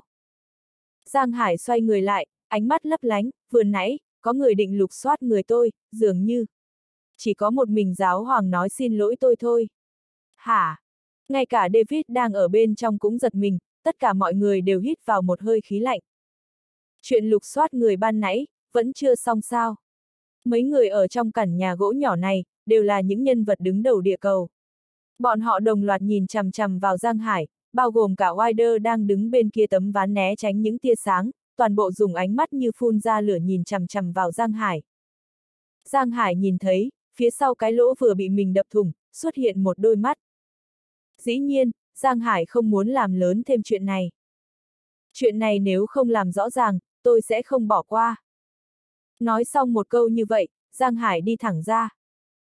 Tiếp theo đây, để cho những người này tự cắn xé lẫn nhau là được rồi. Đúng như dự đoán, Giang Hải mới vừa rời đi, bên trong căn nhà gỗ nhỏ đã truyền ra đủ các loại tiếng gào thét. Những chất chứa không vui trên người mà Giang Hải đem tới, tất cả đều phát tiết ra trên người đối phương, vì một chút lợi ích, tranh đoạt nhau tới mức đỏ mặt tía tai. Lợi ích, hiện tại có quan trọng không? Phương Đông, đối với chúng ta mà nói, còn quan trọng không? Nhiều năm như vậy, có ai chân chính thâm nhập được vào phương Đông không? Đế vương của phương Đông, vẫn luôn là phòng tuyến bảo vệ sau cùng, trong hơn ngàn năm này, đã vô số lần chứng thực điều đó. Chẳng lẽ, các người vẫn còn chưa rõ sao? Cái mà bây giờ chúng ta muốn, là hợp tác, là để cho gã đầu heo da vàng này giao ra cái mà chúng ta cần. Ở phòng bên cạnh, Wider điên cuồng gầm thét. Bên trong căn nhà gỗ nhỏ, một lần nữa rơi vào trạng thái yên tĩnh. Mỗi một người đều có những điểm cần đạt được ở trên người Giang Hải, bọn họ hoàn toàn không tìm được lợi ích chung. Cãi vã, thậm chí chửi rủa, làn sóng này lại một lần nữa lại nổ ra. Rời khỏi căn nhà gỗ, Giang Hải đứng ở trước bờ biển, nhìn biển mênh mông, trong mắt nở nụ cười mãn nguyện. Từ hôm nay trở đi, đế vương ở trong thế giới thế giới ngầm, chân chính trở thành đệ nhất. Dĩ nhiên, đế vương cũng sẽ là trung tâm của vòng xoáy. chương 336 Đế vương, hạ nhĩ xảy ra chuyện rồi. Trên mặt thất hồn không che giấu được vẻ hưng phấn. Có liên quan tới quái vật kia không? Thất hồn nói, cao tăng của hạ nhĩ chết đi không ít người, võ sĩ của hạ nhĩ thương vong thảm trọng, hắc khẩu cũng đã chết mất mấy cao thủ, thực lực giảm mạnh. Tin tức cụ thể, người của chúng ta còn đang điều tra, theo lời đồn là xuất hiện một quái vật gì đó. Giang Hải mỉm cười. Dù là thủy quái, hay là quái vật trong rừng nhỏ kia, cũng đủ khiến cho hạ nhĩ khốn đốn rồi. Tốt nhất là hai con quái vật đồng thời nổi đóa lên, quậy cho hạ nhĩ long trời lở đất càng tốt. Dù sao hạ nhĩ cũng là một quần đảo trên biển, cho dù người chết sạch cũng không có vấn đề. Cho dù hai con quái vật đó biết bơi, bơi đến phương đông gây chuyện, Giang Hải cũng không lo lắng. Rất nhanh, tin tức theo nhau truyền tới. Đầu tiên là tin tức hạ nhĩ bắt đầu phong tỏa, cấm tất cả mọi người ra vào, khiến cho lòng người bàng hoàng. Tiếp theo, chính là các quốc gia phụ thuộc ở chung quanh Thái Lan, trở nên rất hỗn loạn. Mấy thế lực lớn của Linh Ngụy Hội bắt đầu rút lui ra khỏi tổ chức, xã hội đã loạn lại càng thêm loạn. Cùng rút đi còn có vô số những dự án đầu tư và kỹ thuật. Đế vương hiển nhiên muốn nhân cơ hội này, càng phát triển mạnh mẽ, muốn khống chế toàn bộ thế giới thế giới ngầm này. Sự thay đổi của thế giới thế giới ngầm, sẽ vén lên một trận gió mưa trên toàn thế giới. Ví như thế lực của người lập dị, e là họ không thể không rời đi, thậm chí đi còn nhanh hơn thỏ. Bọn họ đang sợ, sợ rút lui đi sạch sẽ, lại khiến Giang Hải nổi đoá. Đế vương, anh xem. Thất hồn lấy đâu ra một bản danh sách. Trên bản danh sách, ghi chú cặn kẽ quyền sở hữu các loại tài sản. Những thứ này là của người lập dị. Những thứ này là của hắc ám. Những thứ này là của hát đi. Mấy thế lực lớn rút đi không đem theo đồ của mình, biết thời thế nên đều để lại cho Giang Hải. Dù sao cũng là ném đi, như vậy cũng coi là kết thêm một cái thiện duyên. Chân mày Giang Hải hơi nhíu lại. Không có đồ của tòa thánh sao? Không có, sắc mặt thất hồn có chút cổ quái, chúng ta lấy mấy cái nhà thờ cũng không có ích gì. Tòa thánh lại dùng cái giá vô cùng thấp để bán những sản nghiệp của mình, lông tóc cũng không để lại. Giang Hải chậm rãi lắc đầu, không, bọn họ sẽ không dễ dàng buông tha khu vực này. Từ xưa đến nay, tín ngưỡng là thứ mà không nói rõ ràng được. Nếu như, tòa thánh toàn bộ rút đi, tín đồ ở địa phương sẽ nổi điên, sẽ nghĩ thượng đế đã vứt bỏ bọn họ sao?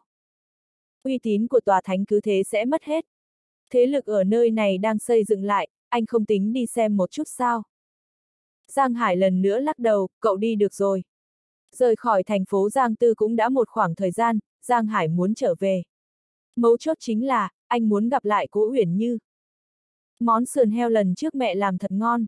Giang Hải chép miệng một cái, người ra bên ngoài, thứ khó quen nhất chính là ăn uống, bất kể ăn cái gì, cũng không có mùi vị của nhà mình. Ánh mắt thất hồn cũng trở nên sâu thẳm. Trong lòng anh ta nhớ mong nhất lúc này, cũng là Mạnh Linh. Đàn ông, một khi có nhà ai cũng đều thay đổi. Giống như Giang Hải, ít hung hăng hơn, tâm tư càng trở nên thâm trầm hơn. Cầm theo ít đồ trở về, Giang Hải nhìn theo bãi cát, trên mặt nở một nụ cười. Ngày hôm sau, Giang Hải tự mình mặc đồ lặn, cầm theo công cụ, lặn xuống đáy biển bắt được một túi tôm hùm. Thuê nguyên một cái thuyền để vượt sóng đem tôm hùm còn sống gửi tận đến thành phố Giang Tư. Cái giá này, thật sự quá cao rồi. Nhưng Giang Hải cũng chẳng quan tâm chút tiền lẻ này. Ở khu vực giáp biển này, tôm hùm không phải là vật gì chân quý, giá cả rất rẻ, thậm chí rất nhiều người địa phương còn không thèm ăn.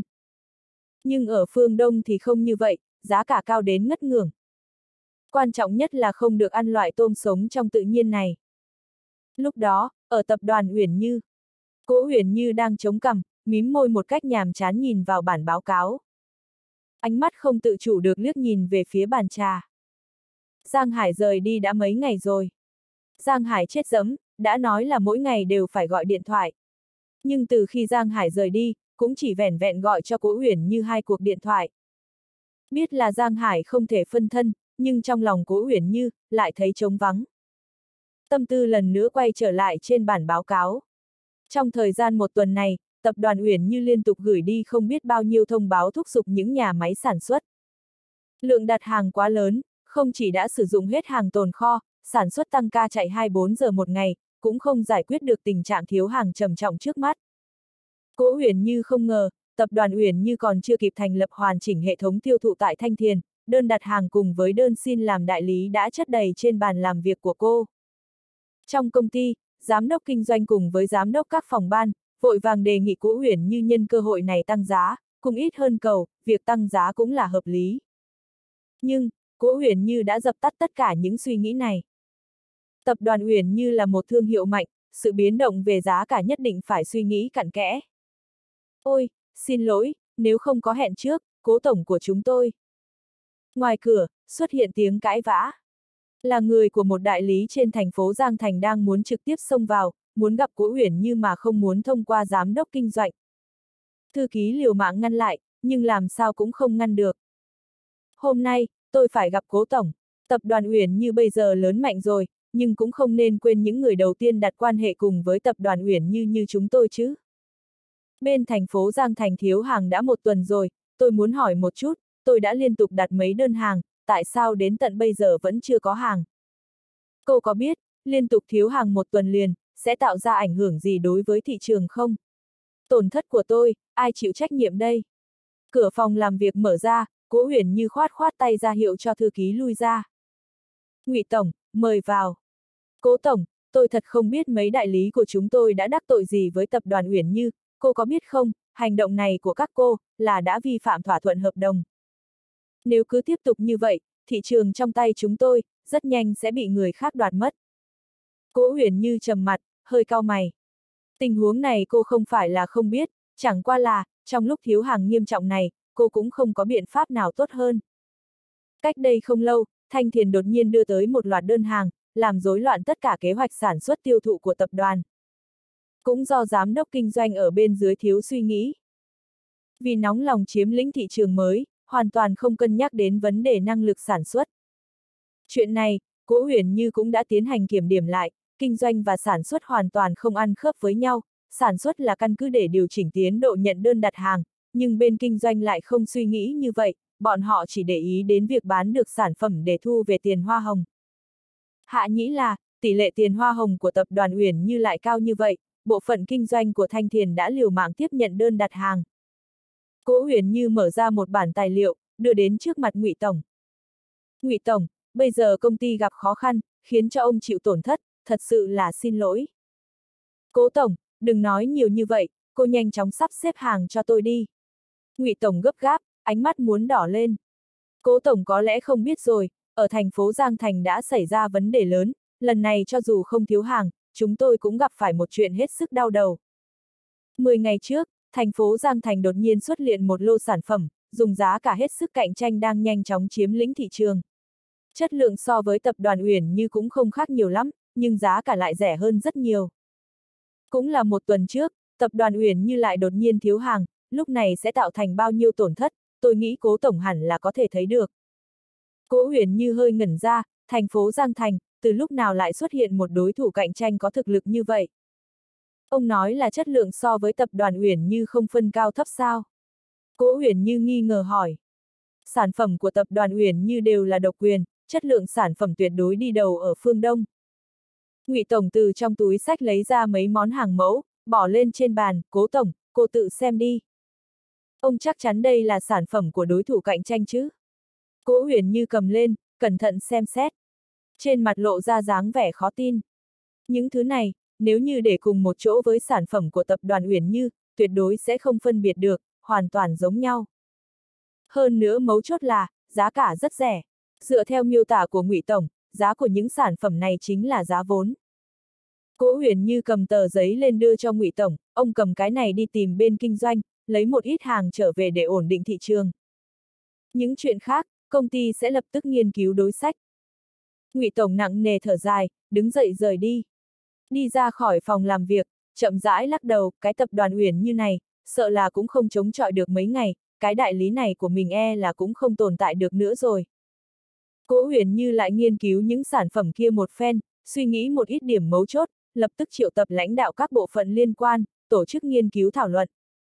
Cũng trong lúc đó, ở tỉnh Thanh Thiền, vẻ mặt Kim Thâu đầy nịnh nọt, cầm bình trà lên rót thêm trà cho Kiếm Huyền. Kiếm Huyền lão ca, anh có thể nói với anh Giang được không, tôi muốn trở về thành phố Giang Tư, đi theo bên người anh ấy, để anh ở lại danh quận làm một lão đại không phải tốt hơn sao? Kiếm huyền diễu cợt kim thâu, anh thật không biết điều, bao nhiêu người muốn nhận lấy còn không được đâu. Đất của danh quận, thế lực ngầm một mình anh định đoạt, chính là thổ địa rồi. Muốn cái gì có cái đó, anh còn chưa hài lòng sao? Còn thế lực ngầm của tỉnh Thanh Thiền anh cũng lấy được rồi. Phương Đông, làm lão đại của thế lực ngầm cũng không có mấy người. Khóe miệng Kim Thâu giật một cái, than lên một tiếng, nhưng đây không phải là cái mà tôi mong muốn. Ban đầu, Giang Hải hỏi ai muốn ở lại danh quận thu thập và quản lý thế lực ngầm, Kim Thâu là người đầu tiên đứng ra. Lúc ấy cũng không có ý định làm lão đại gì, anh ta cũng không ngờ, tiếp nhận xong thế lực ngầm, Giang Hải lại vạch rõ giới hạn cùng với mình. Anh ta nào biết, Giang Hải không muốn dính dáng tới thế lực ngầm. Được rồi, được rồi, chứ có được hời lại còn khoe tài.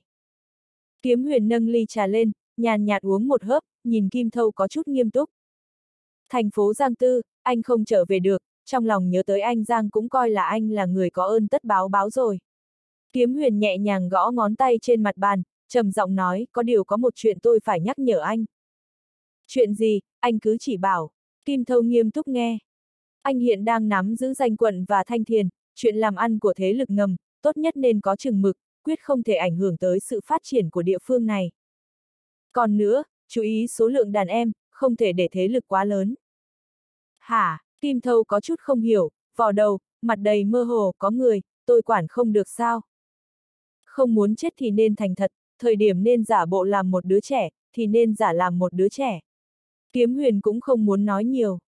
Thế lực ngầm, vốn dĩ là không thấy được ánh sáng, nếu như có một chút nguy hiểm, kết quả chính là chết. Đây cũng chính là nguyên nhân tại sao thế lực ngầm nên phát triển đến một mức độ nhất định, thì sẽ đình trệ không phát triển thêm lên, đi về trước một bước nữa lại chính là vực sâu.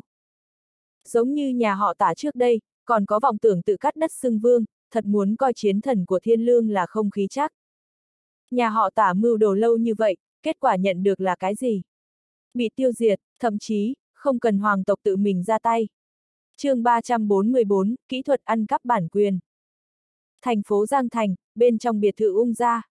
Đây là một trang viên cực kỳ rộng lớn, từ bên ngoài nhìn vào có nét cổ xưa, nhưng ở bên trong trang hoàng cực kỳ hiện đại, hiện ra vẻ xa hoa tráng lệ. Ung Tiểu Ni mặc một bộ quần áo trắng, thân hình đã gầy đi không ít, mặt mũi có chút tiểu tụy. Cha của Ung Tiểu Ni là Ung Thiết, một tháng trước vì lâm trọng bệnh mà qua đời, Ung gia lúc này đã nằm gọn trong tay của Ung Tiểu Ni. Vốn dĩ ở thành phố Giang Thành được coi là gia tộc hạng nhất, hiện nay thực lực tổn hại lớn, ngay cả gia tộc hạng hai cũng không được xếp vào. Có điều, Ung Tiểu Ni trước giờ đều là người không chấp nhận thất bại, cô ta hận Giang Hải, cũng hận cả cố Uyển Như nữa. Nếu như không có tập đoàn Uyển Như, Ung gia tuyệt đối sẽ không lưu lạc tới bước đường này. Bên trong phòng tiếp khách, bữa tiệc linh đình. Trên bàn, sơn hào hải vị, rượu ngon đầy bàn. Giám đốc khúc, lần này, ông chính là đại công thần của nhà họ bùi chúng tôi, tôi đã xin lên bên trên, không bao lâu nữa, ông sẽ trở thành tổng giám đốc quản lý toàn bộ việc kinh doanh của tỉnh Hải Đông này. Chỉ cần làm tốt, tiền đồ của ông trong tương lai là không thể đếm được. Người đang nói chuyện chính là Bùi Dương, con thứ hai nhà họ Bùi. Tiếp đó là một chàng âm thanh chúc mừng, ngay cả sắc mặt một mực âm trầm như ung tiểu ni cũng lên tiếng góp vui. Anh Bùi, vậy ung ra chúng tôi? Ung tiểu ni hỏi. Yên tâm, chuyện tôi đã đồng ý, nhất định sẽ làm. Toàn bộ tỉnh Hải Đông, đều sẽ thuộc về ung gia của cô, cũng chỉ có mình ung gia mới có quyền kinh doanh ở đây. Không chỉ có như vậy, sau này chờ cho chúng ta càng lớn mạnh, đất của danh quận cũng dành cho ung gia phụ trách kinh doanh. Bùi Dương vô cùng vui vẻ, không tự chủ được tỏ ra vô cùng phóng khoáng. Trong lần tranh đấu này, Bùi Dương sẽ dùng ưu thế tuyệt đối để giành chiến thắng, cái gã con trai trưởng của nhà họ Bùi, muốn cùng mình tranh đoạt quyền kế thừa vị trí gia chủ, ở đó mà nằm mơ đi. Bên cạnh đó, sắc mặt của mấy ông chủ những đại lý cũng thay đổi, bắt đầu tâng bốc nịnh bợ. Anh Bùi, anh thật đúng là tuổi trẻ tài cao, tương lai nhà họ Bùi phải để cho anh làm chủ rồi, anh nhất định sẽ trở thành người dẫn dắt toàn bộ đông quận này. Đúng vậy, mặc dù anh Bùi còn trẻ, nhưng cách thức làm việc này, tuyệt không phải người bình thường có thể so sánh được. Đừng nói là bốn tỉnh nho nhỏ ở Đông quận, cho dù dõi mắt khắp phương Đông này, bàn về năng lực, có thể sánh vai với anh Bùi, tôi dám nói không có người thứ hai có năng lực đó. Ngoặc kép chấm chấm chấm ngoặc kép. Những từ ngữ tâng bốc giống như nước sông cuồn cuộn, cùng với nước miếng phun ra như mưa. Bùi Dương mang vẻ mặt hưởng thụ mỉm cười, khoát tay lia lịa, nói mọi người đều quá khen rồi. Lần này, chúng ta có thể nhanh đứng vững chân ở đây như vậy, hơn nữa còn có ưu thế tuyệt đối, công đầu thuộc về giám đốc khúc. Nếu như tầng lớp lãnh đạo của tập đoàn Uyển như có mặt ở đây, vừa nhìn là có thể nhận ra vị giám đốc họ khúc này. Làm một vị trí quản lý cấp trung ở tập đoàn Uyển Như, có cơ hội được tiếp xúc với một ít tài liệu kỹ thuật. Hơn nữa, còn làm quen được rất nhiều nhân viên kỹ thuật. Những sản phẩm mà Bùi Dương đang đưa ra ngoài thị trường lúc này, chính là do Giám đốc Khúc đã ăn cắp tài liệu kỹ thuật của tập đoàn Uyển Như. Hơn nữa, Giám đốc Khúc còn biết, những tài liệu kỹ thuật này của tập đoàn Uyển Như, có nguồn gốc không hợp pháp. Nếu như, chi tiết những kỹ thuật này một khi công bố ra, sợ là sẽ dẫn tới những tranh chấp kiện cáo, hơn nữa việc kiện cáo này lại do các công ty nước ngoài chủ động đệ đơn, tập đoàn Uyển Như sẽ không gánh nổi. Chính bởi vì điều này, kỹ thuật mà nhà họ Bùi trộm được cũng không sợ tập đoàn Uyển Như truy cứu trách nhiệm. Bùi Dương cũng liếc nhìn thân thể của ung tiểu ni. Công lao của cô xài, Bùi Dương tôi cũng ghi nhớ ở trong lòng. Giám đốc khúc đâu dám giành công, khoát tay lia lịa. Trong lòng ung tiểu ni lại vô cùng phiền muộn. Nếu như, ung gia không phải do thực lực tổn hại nghiêm trọng, làm quen được với gã giám đốc khúc này xong, ung gia cũng có khả năng làm ra được những sản phẩm nhái kia. Sản phẩm chiếm lĩnh thị trường lúc này chính là mang tên ung gia rồi. Lúc này phải kết giao với cậu hai của nhà họ Bùi, cũng là hành động bất đắc dĩ của ung tiểu ni. Được mọi người tân bốc, mặt Bùi Dương lại tỏ ra đầy vẻ khiêm tốn. Các vị cũng đừng tân bốc tôi nữa.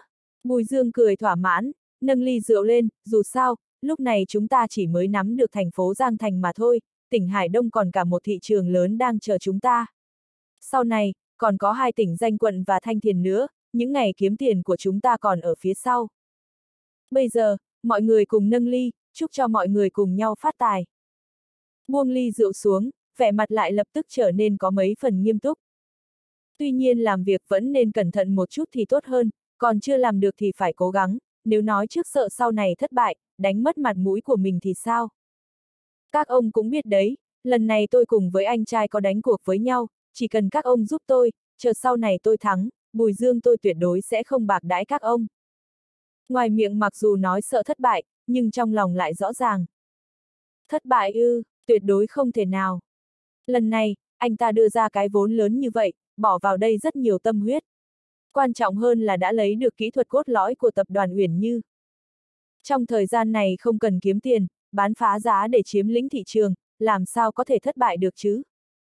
Cái thứ con ngoài giá thú, làm sao xứng tranh gia sản với con chính thống như anh ta được chứ? Thất bại ư, một giám đốc dưới quyền của Bùi Dương cười nịnh nọt, loại chuyện như vậy, có thể xảy ra được sao? Tất cả mọi người đều cười to. Nếu như, anh Bùi thất bại, đây chính là trời cũng nhìn lầm rồi. Chúng ta không chỉ có kỹ thuật, còn có ưu thế về giá cả, nhắm mắt cũng có thể chiếm lĩnh thị trường.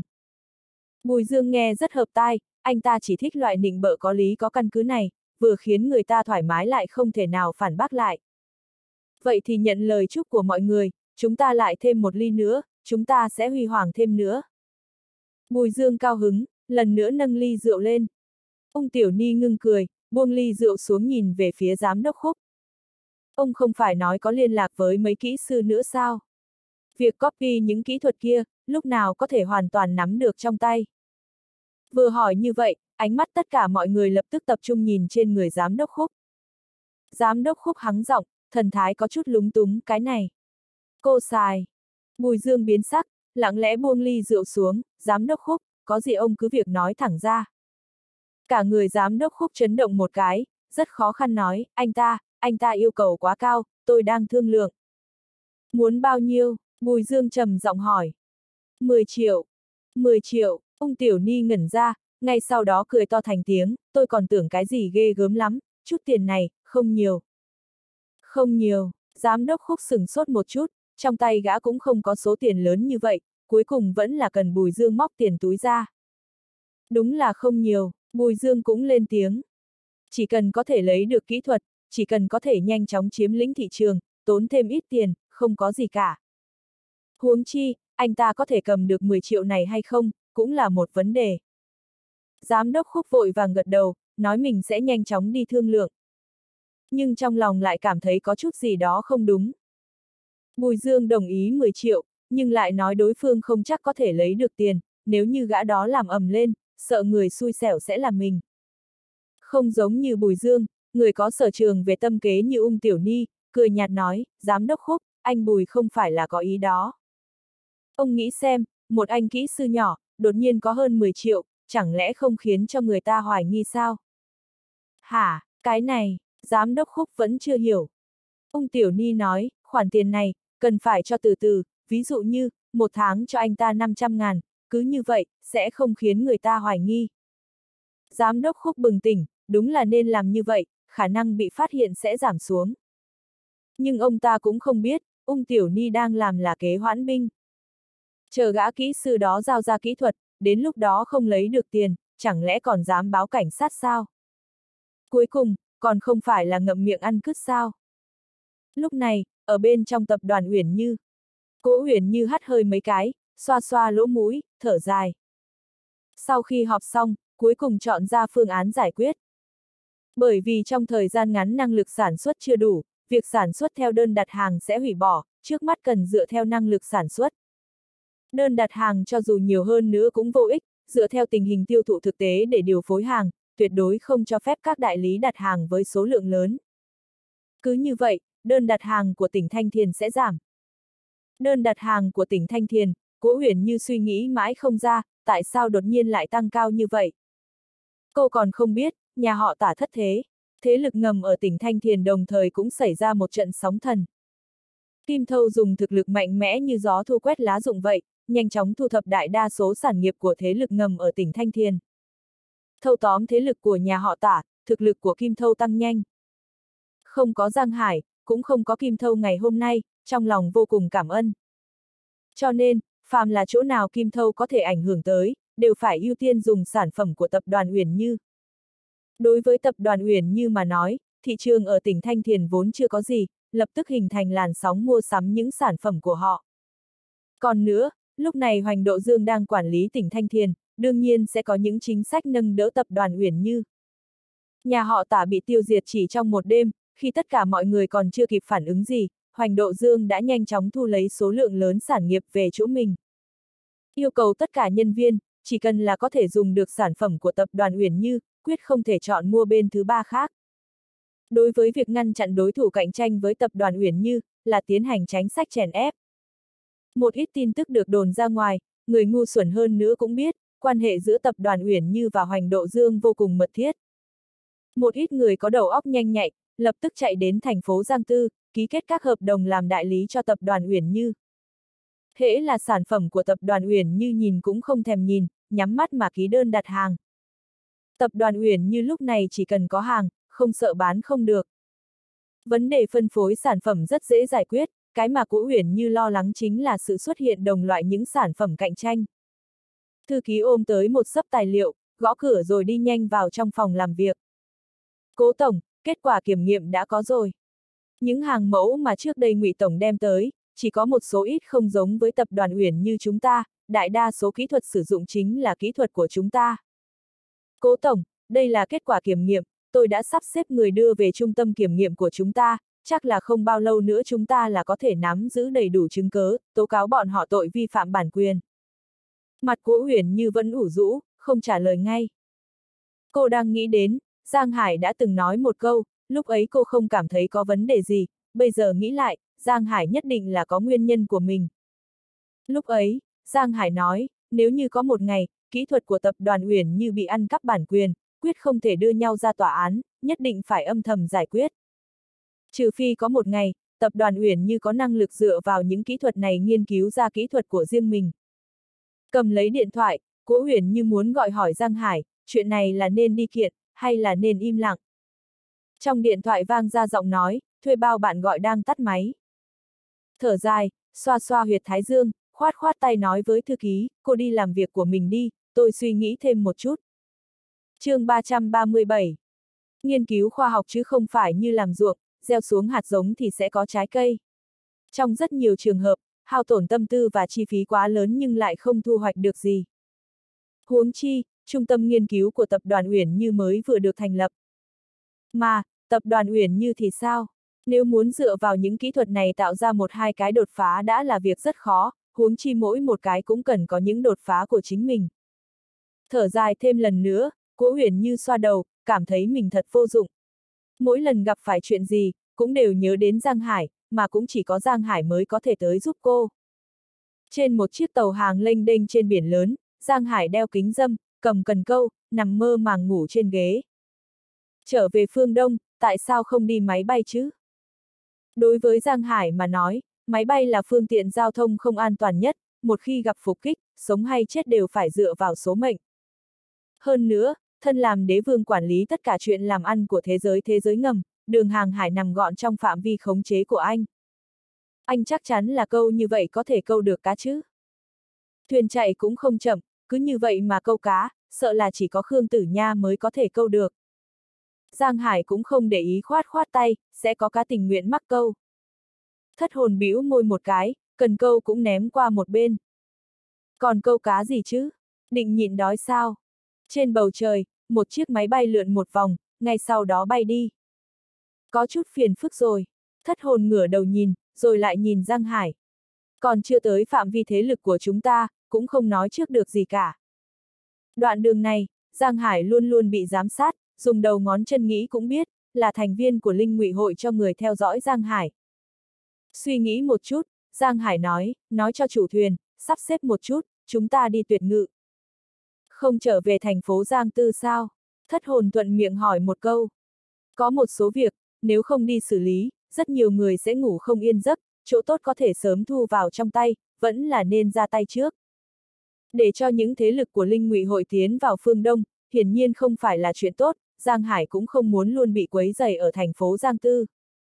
Sở dĩ lựa chọn đi tuyệt ngự, Giang Hải cũng có suy tính của mình. Đầu tiên là quốc gia tuyệt ngự này, mặc dù là vùng đất được khai sáng bởi Phật Thích Ca Mâu Ni, nhưng cũng là một khu vực phân biệt chủng tộc phức tạp nhất. Hơn 100 chủng tộc, lại lai ra rất nhiều những chủng tộc mà không biết gọi tên. Lấy màu ra để bàn về giàu nghèo, đây là khu vực có sự chênh lệch giàu nghèo cực lớn. Trên thế giới, bất kể là lịch sử của quốc gia nào đều là xem văn minh phát triển như thế nào. Cũng chỉ có tuyệt ngự này lại không như vậy, hơn phân nửa thời gian là bị các nước thực dân đô hộ, nên trong người bọn họ, bản tính bị nô dịch còn rất mạnh. Thế lực của người lập dị ở đây rất mạnh, ngàn năm qua luôn luôn nắm giữ tài nguyên của địa phương. Có điều người ta không biết ở đây là, bọn họ là nô bộc trung thành của giáo phái Uradia. Giáo phái này là một tôn giáo thần bí, coi phụ nữ làm trung tâm, tin tưởng vào sự thần bí của ngôi sao sáu cánh. Sùng bái thánh ca. Lấy sự nô dịch và mua vui cho người lập dị làm vinh hạnh. Đừng nói là muốn những người đàn bà này lột sạch quần áo nằm xuống đất cho người ta đùa bỡn, cho dù muốn bọn họ chết, bọn họ cũng sẽ không do dự chút nào, bởi vì bọn họ cảm thấy đây là ý chỉ của thần linh. Rõ ràng là không thể nào dẫn dắt giáo phái này đi lên. Người lập dị muốn rũ bỏ, cách tốt nhất chính là mặc cho bọn họ tự sinh tự diệt. Giang Hải nheo cặp mắt lại, cái tổ chức tín ngưỡng đặc thù này, mặc dù cổ quái biến thái, nhưng có một chỗ rất tốt, đó chính là trung thành. Nếu như, lợi dụng tổ chức này, sẽ có được sự trợ giúp rất lớn đối với thế giới thế giới ngầm của đế vương tại tuyệt ngự này. Đối với người lập dị mà nói, tất cả mọi người của giáo phái Uradia đều là sướng kỹ, thuận theo thời thế đẩy cho Giang Hải, giống như đưa cho người khác đám gia súc vô dụng của nhà mình vậy. Thậm chí, những người này còn có chỗ không bằng so với đám gia súc đấy. Đứng ở vị trí tòa thánh, làm một tôn giáo, bọn họ không thể nào mang tiếng xấu bỏ đi tín đồ đang theo bên mình. Giang Hải muốn xem xem tòa thánh sẽ làm như thế nào, chỉ là bán ra các loại tài sản, hay là bỏ giáo đường. Tin chắc tòa thánh nhất định sẽ nói, có người cố ý đối đầu với tòa thánh, tất cả chuyện ác này đều là do quỷ sa tăng phản bội thượng đế làm ra. Tín ngưỡng là tốt, nhưng có thời điểm, lại làm cho con người trở nên hết sức ngu ngốc. Tuyệt ngự, ở một một bến tàu tư nhân. Giang Hải chuẩn bị lên bờ, người đón tiếp anh, lại không phải là người của đế vương ở địa phương này. Chào anh Giang, bọn tôi chờ anh rất lâu rồi. Trên bờ, chính là Athena. Dưới ánh mặt trời, một mái tóc vàng cùng với nụ cười trói lọi làm mê lòng người. Trong gió biển, Giang Hải cũng có thể ngửi được mùi thơm mê người trên người cô gái. Cô gái này, đúng là vưu vật trời sinh, đáng tiếc là đã chọn sai mục tiêu rồi. Giang Hải không bị say nắng với cô. Những người khác cũng đang đứng trên bờ, nội tiết tố tựa hồ đã giải phóng ra đến cực điểm, đôi mắt rảo hoạt, không nhìn được đều phải mấy lần lén lút nhìn đôi chân trắng ngần kia. Đối với những xúc sinh đang động được đó, Giang Hải nhìn chỉ cười cười. Mà Athena tựa hồ đang rất hưởng thụ cảm giác mê hoặc ánh mắt mọi người này, cảm thấy thoải mái, mỉm cười nhìn Giang Hải.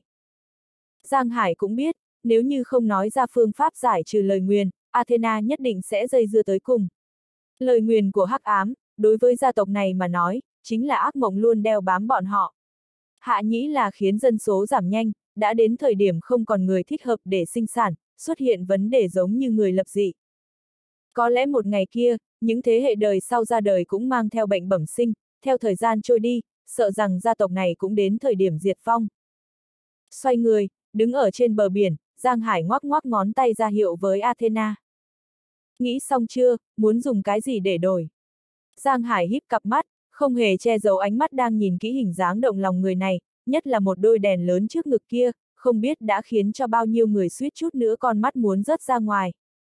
Athena đứng sát Giang Hải, dáng người cao gầy, so với Giang Hải cũng không thấp hơn chút nào. Chỉ cần là thứ mà gia tộc Hắc ám có, anh cứ việc nói ra.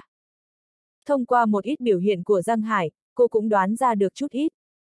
Điều kiện mà Giang Hải muốn nói, tuyệt đối là thứ mà mình có thể đưa ra, nhưng cũng vô cùng khó chịu.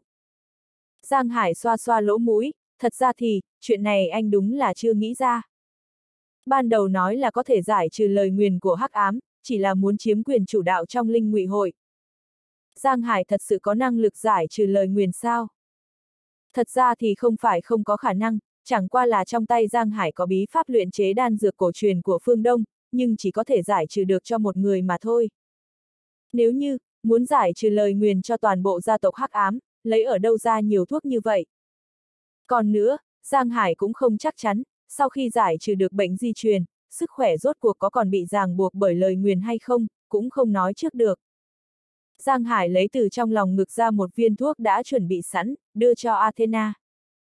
Đưa trước cho cô một viên. Khẽ mỉm cười, rồi xoay người, nếu như, cô muốn phương pháp giải trừ lời nguyền của gia tộc, cần có một món đồ để đổi. Cầm lấy viên thuốc, ánh mắt Athena có chút kỳ quái, sau khi biết cái vật nhỏ này chính là bảo bối giải trừ lời nguyền, cả người cũng chấn động. Hốt hoảng nắm chặt bàn tay, nếu như bị một trận gió thổi đi viên thuốc, cô có thể sẽ khóc chết mất. Anh muốn cái gì? Giang Hải nhẹ giọng nói, chiếc hộp Pandora. Ngắn ngủn mấy chữ, khiến cho giọng nói Athena cũng kích động run rẩy lên, cả người hóa đá tại chỗ. Chiếc hộp Pandora, chẳng qua là tồn tại trong truyền thuyết, trên thực tế, làm gì có cái đó. Anh, anh muốn, chiếc hộp Pandora. Dường như không dám tin vào lỗ tai mình nữa, Giang Hải muốn món đồ này, có dụng ý gì chứ? Pandora, là một người đàn bà mà thiên địa dùng bùn đất để nặn ra, trên người cô tập hợp tất cả ưu điểm, mị hoặc hết sức mà người đàn bà có. Tới nhân gian, Pandora mở ra chiếc hộp, đem tất cả những thứ tội ác nhỏ nhen đố kỵ đổ vào nhân gian. Sau đó Pandora lại bị nhốt vào trong chiếc hộp này. Mà chiếc hộp này đại biểu cho tội ác, trong đó còn có ác ma giống như Pandora vậy. Anh muốn cái đó làm gì? Giang Hải chậm rãi xoay người, mắt nhìn Athena.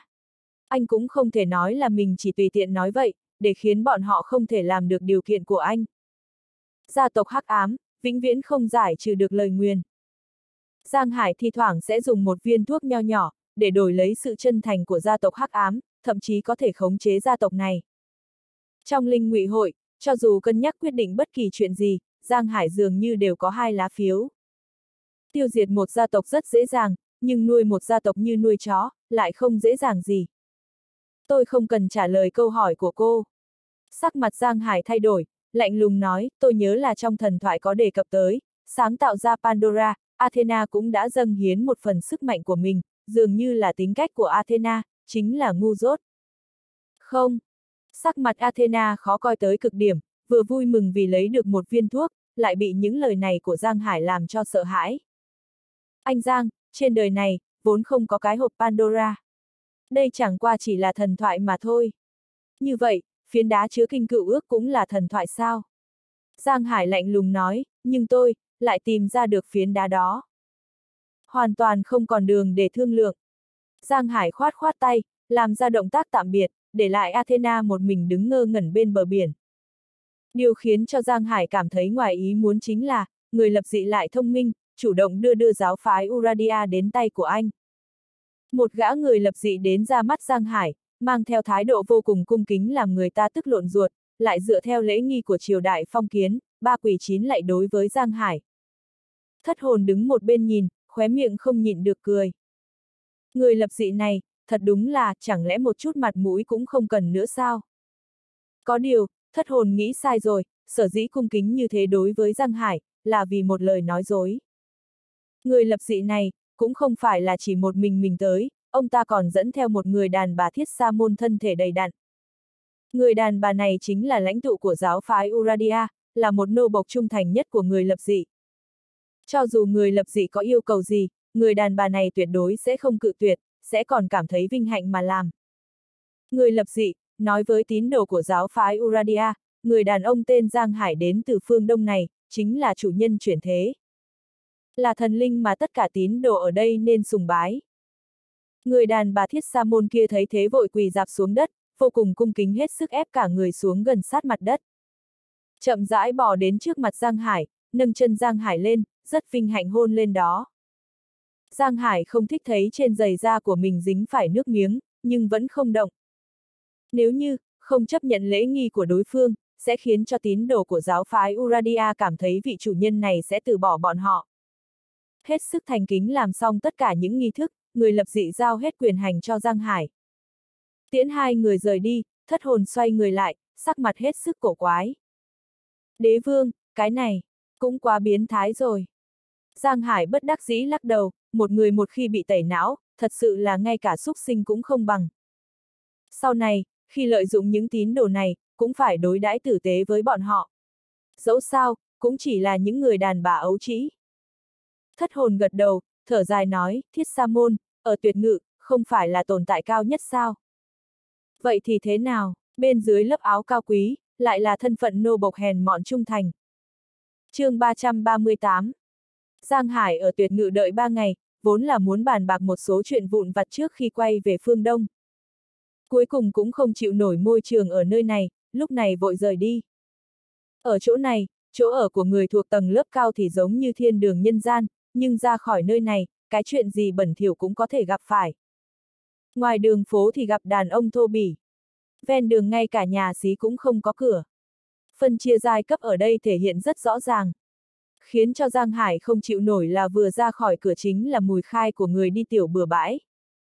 Có điều, tuyệt ngự ngược lại không giống như bên ngoài đồn đại, ở đây trực tiếp dùng nước sông để uống. Nhưng, con sông này cũng khiến cho Giang Hải nhìn mà nôn mửa không thôi. Có người ở đây giặt quần áo, cũng có người đổ cứt đái vào. Đặc biệt khiến cho người ta càng ghê tởm hơn là, có một cổ thi thể đang chậm rãi trôi xuống hướng hạ lưu, mà sắc mặt những người đàn bà đang giặt áo bên bờ sông vẫn như thường, giống như không trông thấy.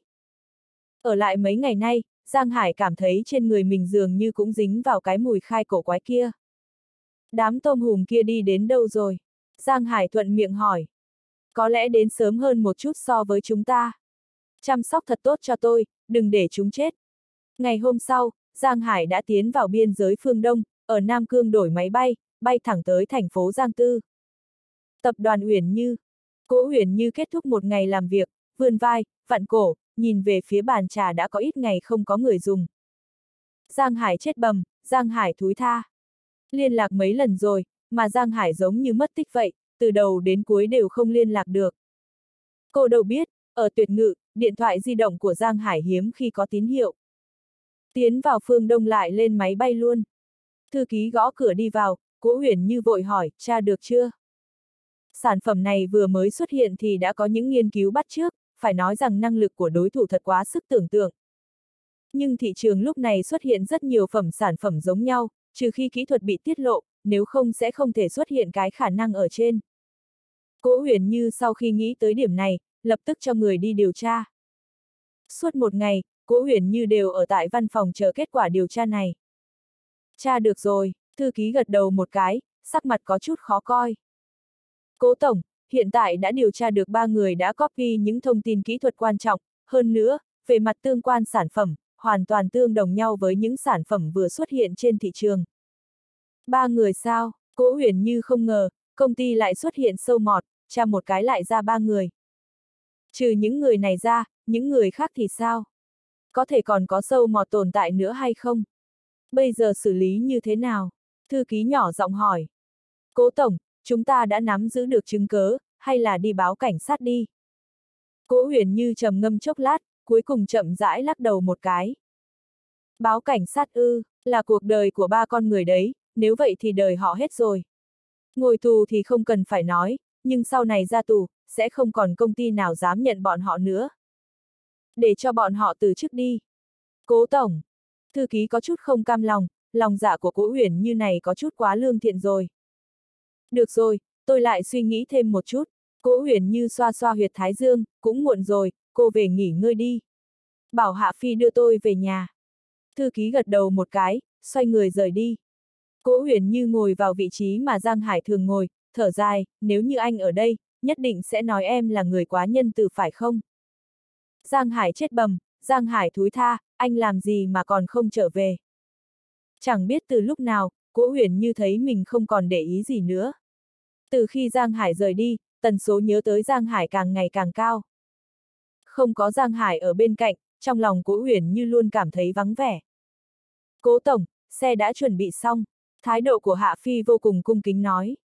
Trên đường trở về, Cố Huyền như thuận miệng hỏi, Hạ Phi, cậu nói xem, có người phản bội cậu, cậu sẽ làm gì?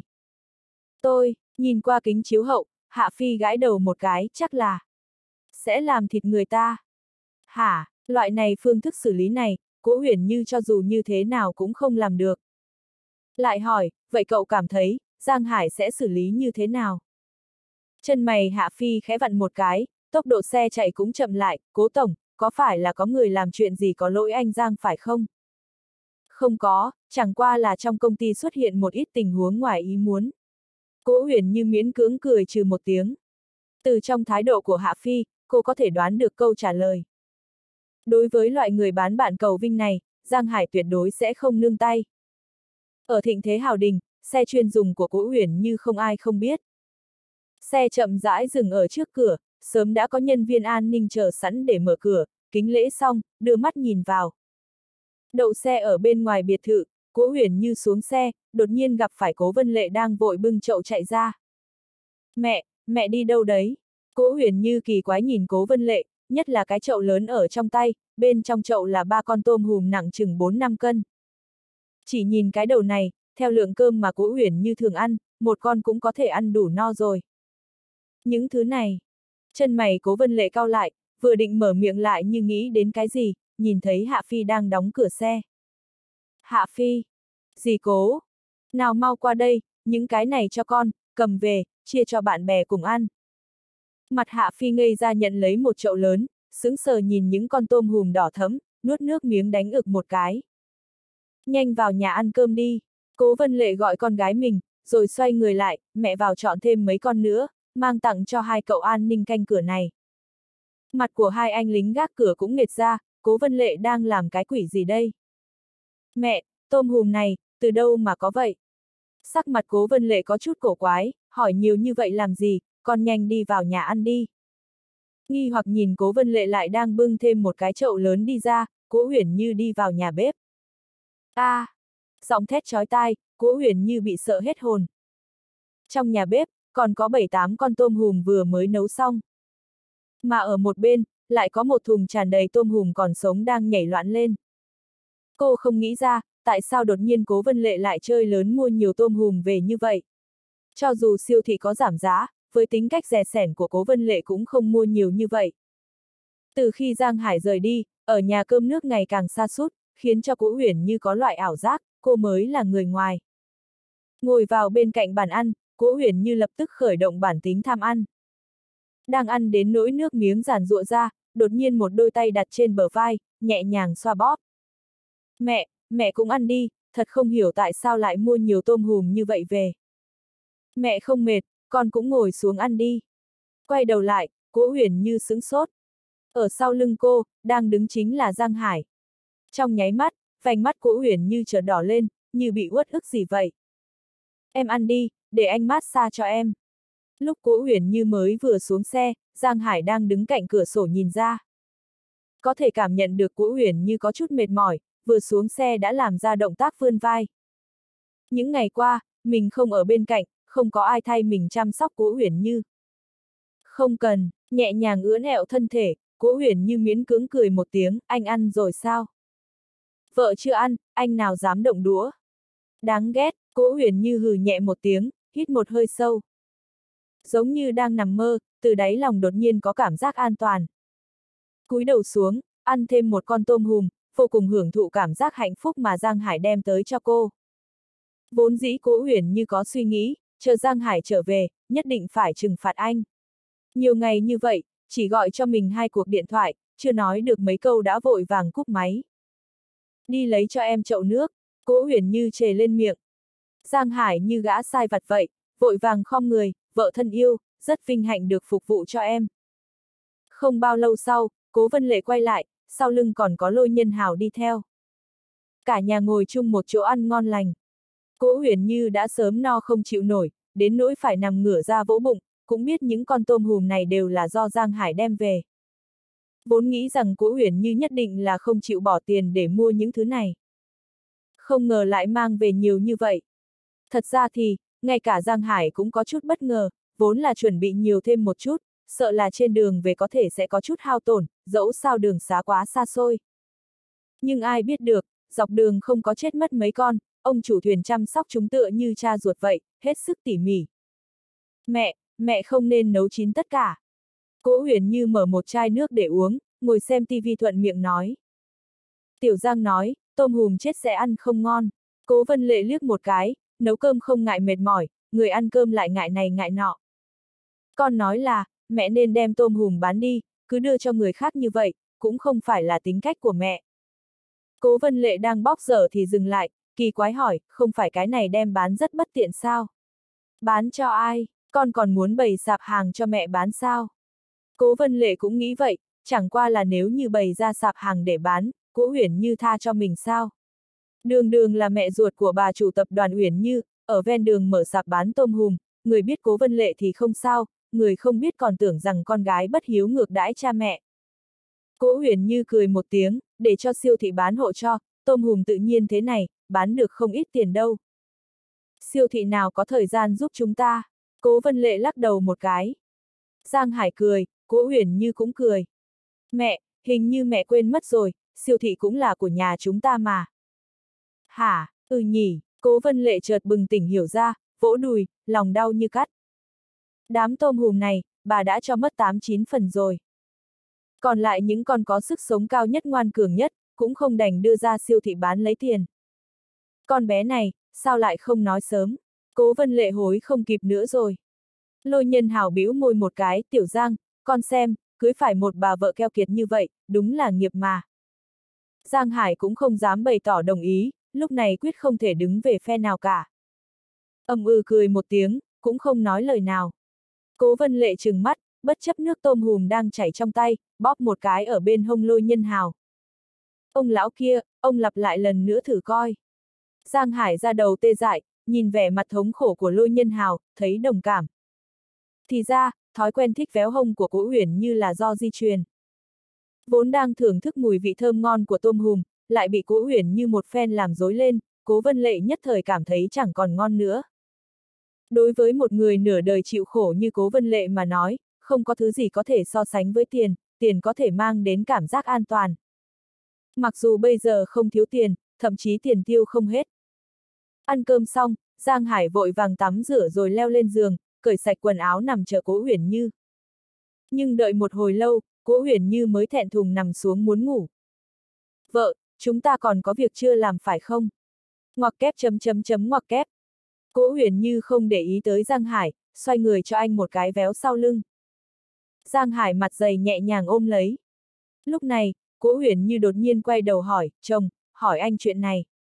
Ban đầu anh nói, những kỹ thuật này của công ty, cho dù bị người ta ăn cắp bản quyền, cũng không thể đi kiện, là tại sao? Mặc dù trong lòng đại khái cũng biết nguyên nhân, nhưng cố huyền như vẫn muốn hỏi rõ ràng. Ngay sau đó, Giang Hải nói thẳng nguyên nhân.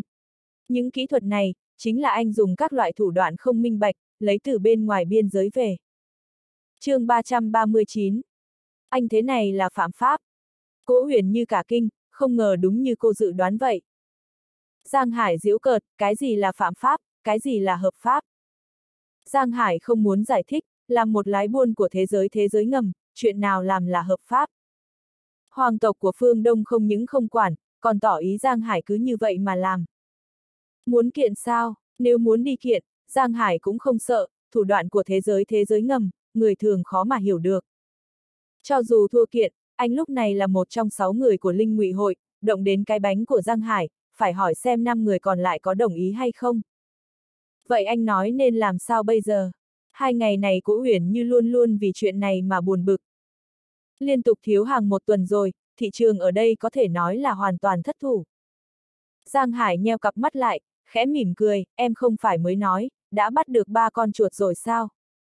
Anh muốn xử lý bọn họ như thế nào? Cố huyền như thiện tâm, sợ Giang Hải lại làm ra chuyện gì quá đáng. Giang Hải nói em, giao cho anh xử lý là được. Vợ, chúng ta bắt đầu nào.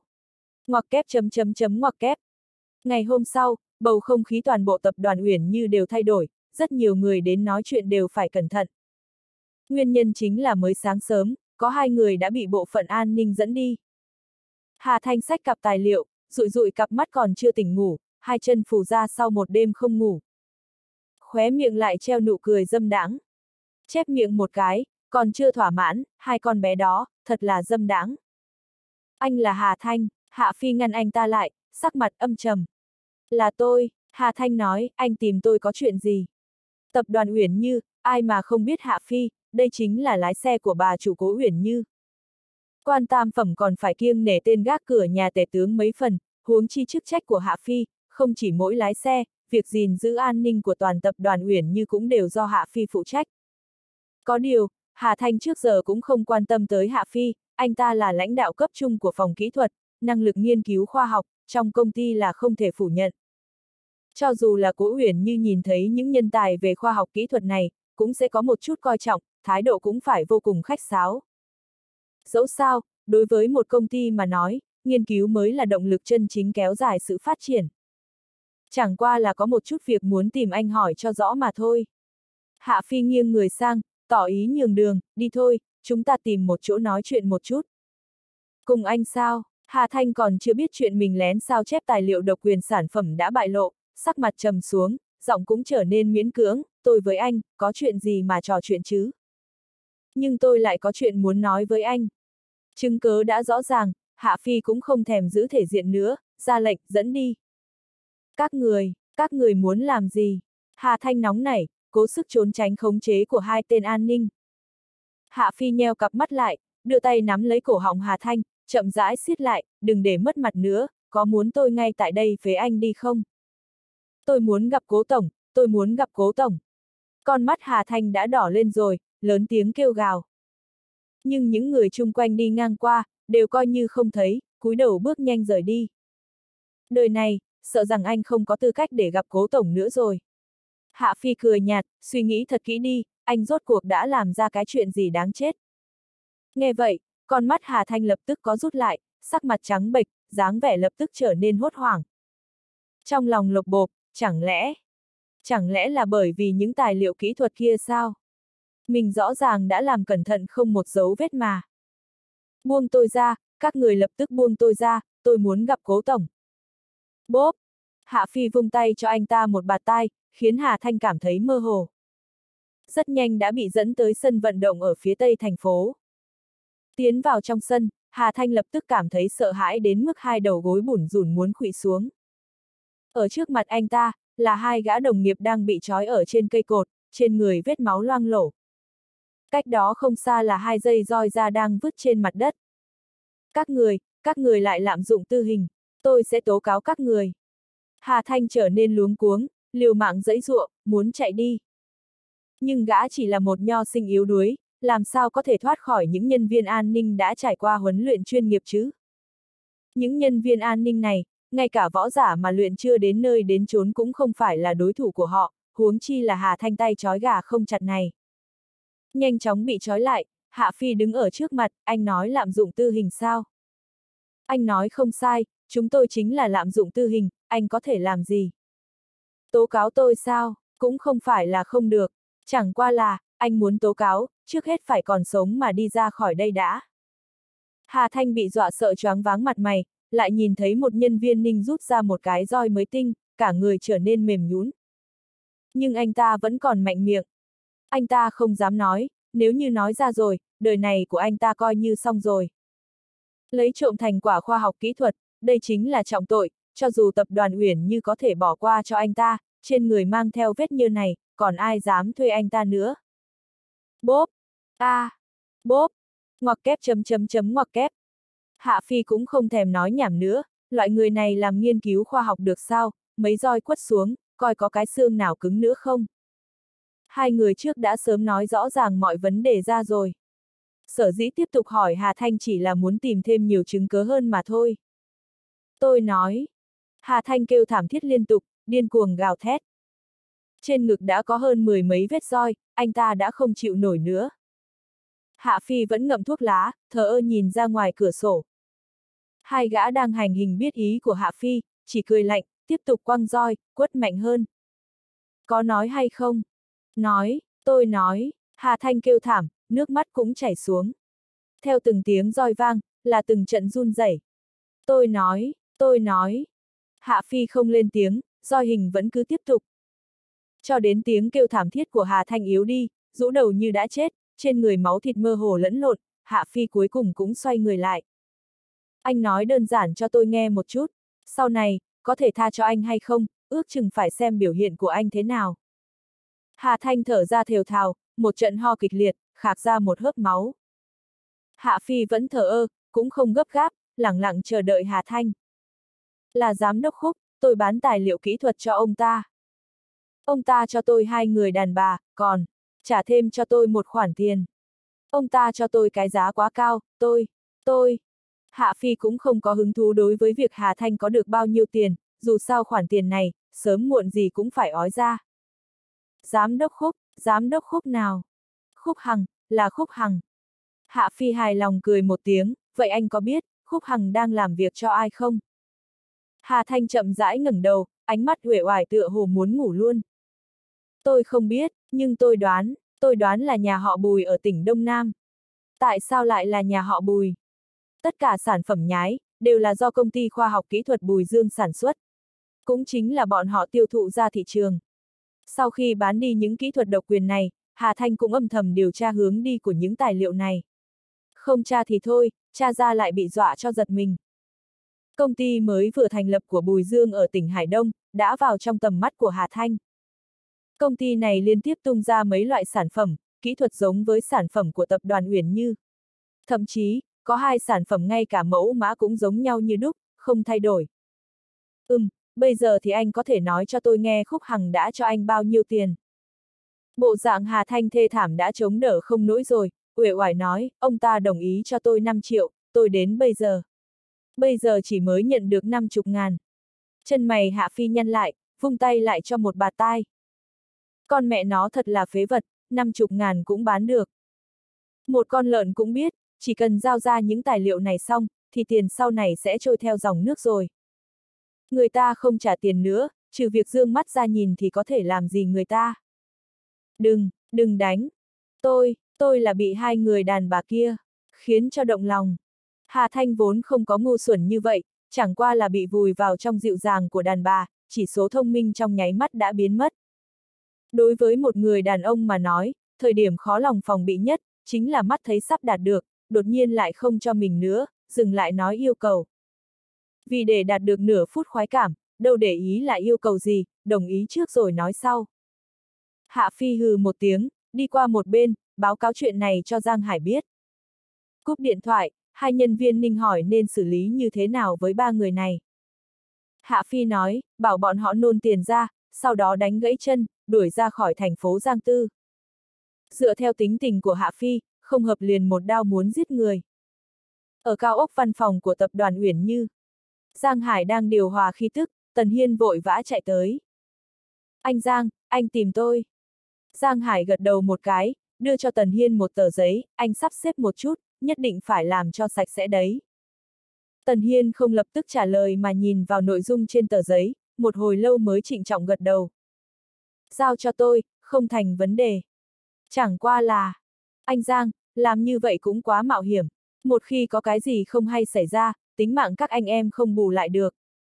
Giang Hải lắc đầu một cái, anh cho là đây là một công nghệ nhỏ sao? Tần Hiên hiểu, gật đầu một cái xoay người chuẩn bị rời đi. Dưới lầu, bên trong quán cà phê nhỏ do tập đoàn Uyển Như mở ra tự kinh doanh, đang có mấy người ngồi tán gẫu. Ở tập đoàn Uyển Như, yêu cầu về thời gian làm việc cũng không quá nghiêm khắc. Công việc luôn cần một hiệu suất cao, nhưng khi không bận rộn, hoàn toàn có thể an nhàn một chút. Thậm chí, Cố Huyền Như còn khích lệ nhân viên, xuống dưới lầu uống một ly cà phê, tiền do công ty tự trả.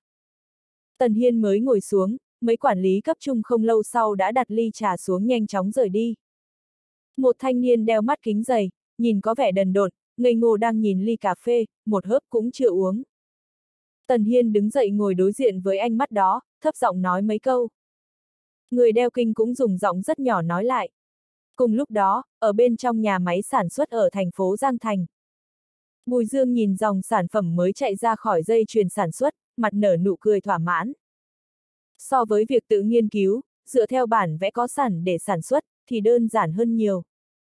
Chỉ cần lô hàng này đưa ra thị trường, thị phần ở thành phố Giang Thành của tập đoàn Uyển Như sẽ mất hết. Sau này, cho dù muốn tìm lại sản phẩm của tập đoàn Uyển Như cũng quá khó khăn. Anh Bùi, ông Tiểu Ni nhẹ giọng nói, thật ra thì, chúng ta còn có thể nâng cao lợi nhuận lên hai lần. Hửm, ánh mắt Bùi Dương sáng lên. Ông Tiểu Ni nói, loại sản phẩm này, quan trọng nhất là linh kiện nòng cốt bên trong, trừ cái này ra, bên ngoài chỉ là trang sức mà thôi. Chúng ta không cần phải dựa theo nguyên mẫu yêu cầu, làm ra sản phẩm y chang. Ý cô là dùng nguyên liệu rẻ hơn để thay thế. Bùi Dương hiểu ra, trên mặt nở nụ cười. Được, cứ làm như vậy đi. Hai người bèn nhìn nhau cười, lúc này, khúc hằng một đường chạy như bay tiến thẳng vào. Anh Bùi, có tin mừng, có tin mừng. chương 340.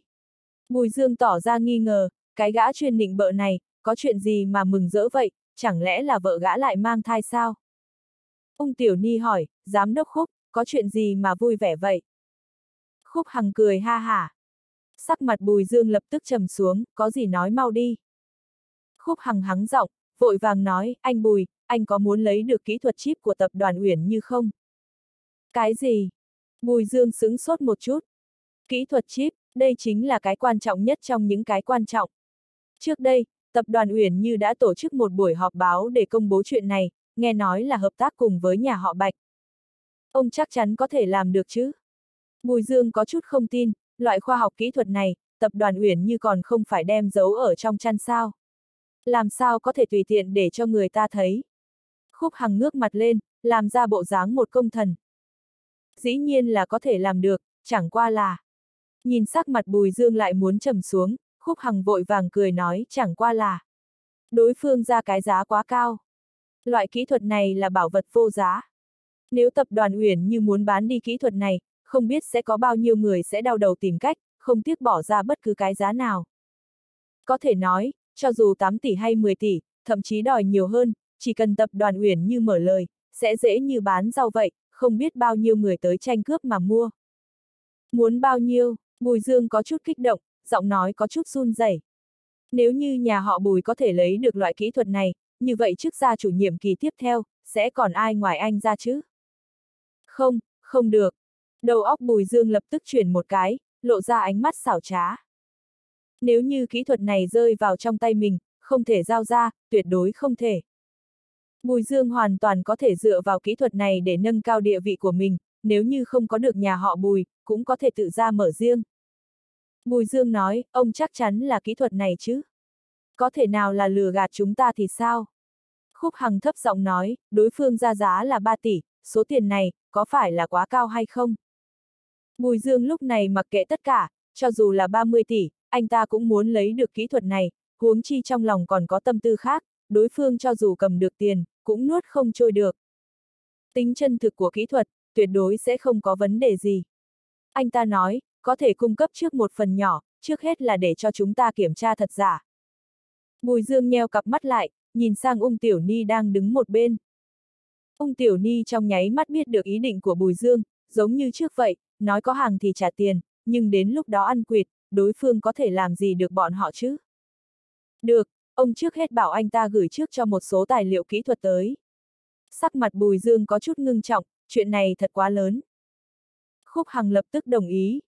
À, đúng rồi, còn giá tiền thì sao? Trong tay Bùi Dương lấy đâu ra 3 tỷ, cho dù 300 triệu anh ta cũng không có. Nhưng anh ta là người từng trải, nói thẳng ra chính là nhà họ Bùi đang xem biểu hiện của hai người con trai, xem ai có tiền đồ hơn. Mắt khúc hằng đảo một cái, cười cười, anh Bùi, cái giá này tôi cũng thương lượng đã lâu, quả thực không còn lựa chọn khác. Trong lòng khúc hằng cũng không phải cái dạng gì tốt đẹp, ông ta nói là 3 tỷ, ngoài ra trong đó có 1 tỷ, là chuẩn bị cho vào trong túi riêng của mình.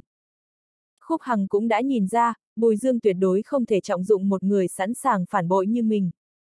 Có một tỷ trong tay, mình không phải có thể tiêu sái tự do tự tại rồi sao? Sau đó dứt khoát tìm đường chuồn đi. Bùi Dương có chút khó chịu, trầm ngâm, như thế nào lại đưa ra cái giá 3 tỷ chứ? Ngay sau đó, ánh mắt anh ta sáng lên, cười một tiếng cổ quái, được, ông chỉ cần đàm phán được là tốt rồi, sau này, sẽ không thiếu phần của ông. Khúc Hằng suýt chút nữa không nhìn được biểu môi, chỗ tốt nào chứ? Ông đây chỉ cần một tỷ kia là đủ rồi. Tập đoàn Uyển Như, Cố Uyển Như bận bịu với những cuộc họp. Bên trong phòng làm việc, Giang Hải đẩy một ly trà tới trước mặt Tần Hiên. Anh Giang, bước đầu tiên tiến hành thuận lợi. Giang Hải gật đầu một cái, tỏ ý mời Tần Hiên uống trà. Vậy thì làm nhanh lên, hạ tầng cơ sở ở thành phố Giang Tư, thật đúng là chưa đâu vào đâu cả. Khoản tiền này sau khi vào trong tay chúng ta, trước tiên đưa cho nhà máy xử lý nước thải một ít, sau đó, cần xây dựng thêm nhà máy xử lý nước thải nữa, thành phố lớn rồi, nước sạch rất là quan trọng. À, đúng rồi, nhất định phải đạt tới chất lượng nước có thể uống trực tiếp được. Tần Hiên gật đầu một cái, lập tức rời đi xử lý công việc. Trong bóng tối, giao dịch đang tiến hành. Bùi Dương hưng phấn quá độ, đến mức không thể ngủ được. Lấy được kỹ thuật chip, tương lai nhà họ Bùi, đoán chừng ở tỉnh Đông Nam này sẽ đại phát, nhảy một cái trở thành thế gia siêu cường cũng chỉ là vấn đề thời gian. Tỉnh Đông Nam à, không, cho dù là bốn tỉnh ở Đông quận, nhà họ Bùi cũng sẽ là một thế gia hạng nhất. Thậm chí, toàn bộ phương Đông, nhà họ Bùi cũng sẽ có một chỗ đứng nhất định. Chẳng qua, Bùi Dương đang âm thầm có chút khó chịu là, gã kỹ sư của tập đoàn Uyển như kia, hiển nhiên cũng rất thông minh, không đồng ý chuyển tiền từng ít một, yêu cầu chuyển một lần. Chuyển 3 tỷ, sẽ lập tức giao ra tài liệu kỹ thuật. Không thấy tiền sẽ không đưa kỹ thuật. Hơn nữa, địa điểm giao dịch đưa ra cũng khiến cho Bùi Dương thấy khó chịu. Anh Bùi, ung tiểu ni bước vào cửa, bởi vì có chút hưng phấn, sắc mặt cũng đỏ ửng. Nhà họ Bùi phát triển như thế nào, ung tiểu ni không quan tâm, khiến cho cô ta cảm thấy hưng phấn, chính là cái xui xẻo mà tập đoàn Uyển như sắp gặp phải. Cô ta rất muốn nhìn thấy cảnh tập đoàn Uyển như sụp đổ. Theo số liệu thử nghiệm, những tài liệu kỹ thuật kia không có vấn đề gì. Thật sao, Bùi Dương vô cùng vui vẻ, nhanh chóng đi qua đi lại, vỗ tay, ba tỷ kia, lập tức sẽ đưa tới. Nội bộ nhà họ Bùi cũng chia làm hai phe. Mấy ông lão luôn chiếu cố Bùi Dương vừa nghe chuyện này, lập tức thần hồn điên đảo, thậm chí không tiếc len lén dùng tiền trong tài khoản của gia tộc. Số tiền này nhà họ Bùi đúng là có chỗ cần dùng tới. Có điều, so với kỹ thuật chip, cái gì cũng sẽ không còn quan trọng nữa. Ở một bến tàu tư nhân, một chiếc thuyền câu đang đậu. Đeo cặp kính trên mắt, anh kỹ sư đầy vẻ lịch sự đứng đón ánh đèn xe chói mắt đang đi tới, cảm giác rất là căng thẳng. Thỉnh thoảng nhìn chung quanh, trong đêm tối, anh ta cũng không nhìn thấy gì, chỉ có thể nghe được tiếng côn trùng thi thoảng kêu lên. Xe ngừng ở trước mặt, từ trên xe bước xuống một người, chính là Khúc Hằng. Đồ đã chuẩn bị xong chưa? Thanh niên đeo kính giọng nói có chút run rẩy tiền, các anh đã chuẩn bị xong chưa? Cái đó là đương nhiên, không có tiền, tôi cũng không đi tới đây. Khúc Hằng thì lại rất là ung dung tự nhiên, bước chậm tiến lên trước. Tôi muốn xem trước một chút. Thanh niên đeo kính sợ hãi lui về phía sau nửa bước, mạnh miệng nói, cho ông xem ông cũng không hiểu, tôi muốn nhận được tiền trước. Nhận tiền, Khúc Hằng nhìn chiếc thuyền câu đậu trên bến tàu, thằng nhãi này, quả nhiên là như vậy, lấy được tiền thì muốn lập tức tìm đường chạy, người thông minh, quả là một người thông minh. Chẳng qua là, thanh niên đeo kính không ngờ, cái thế giới này so với trong tưởng tượng của anh ta còn u ám hơn nhiều. Được rồi, của cậu đây. Vừa nói Khúc Hằng vừa thao tác chuyển tiền qua tài khoản. Ngắn ngủn mấy giây sau, trong tài khoản của anh chàng đeo kính nhận thêm một khoản tiền, là một dãy dài số 0, thanh niên đeo kính cả đời cũng không nghĩ tài khoản có được nhiều tiền như vậy, nếu cho ngồi đếm, cho dù là thiên tài số học như anh ta cũng cảm thấy có chút lẩn thần. Được rồi chứ, đồ đâu?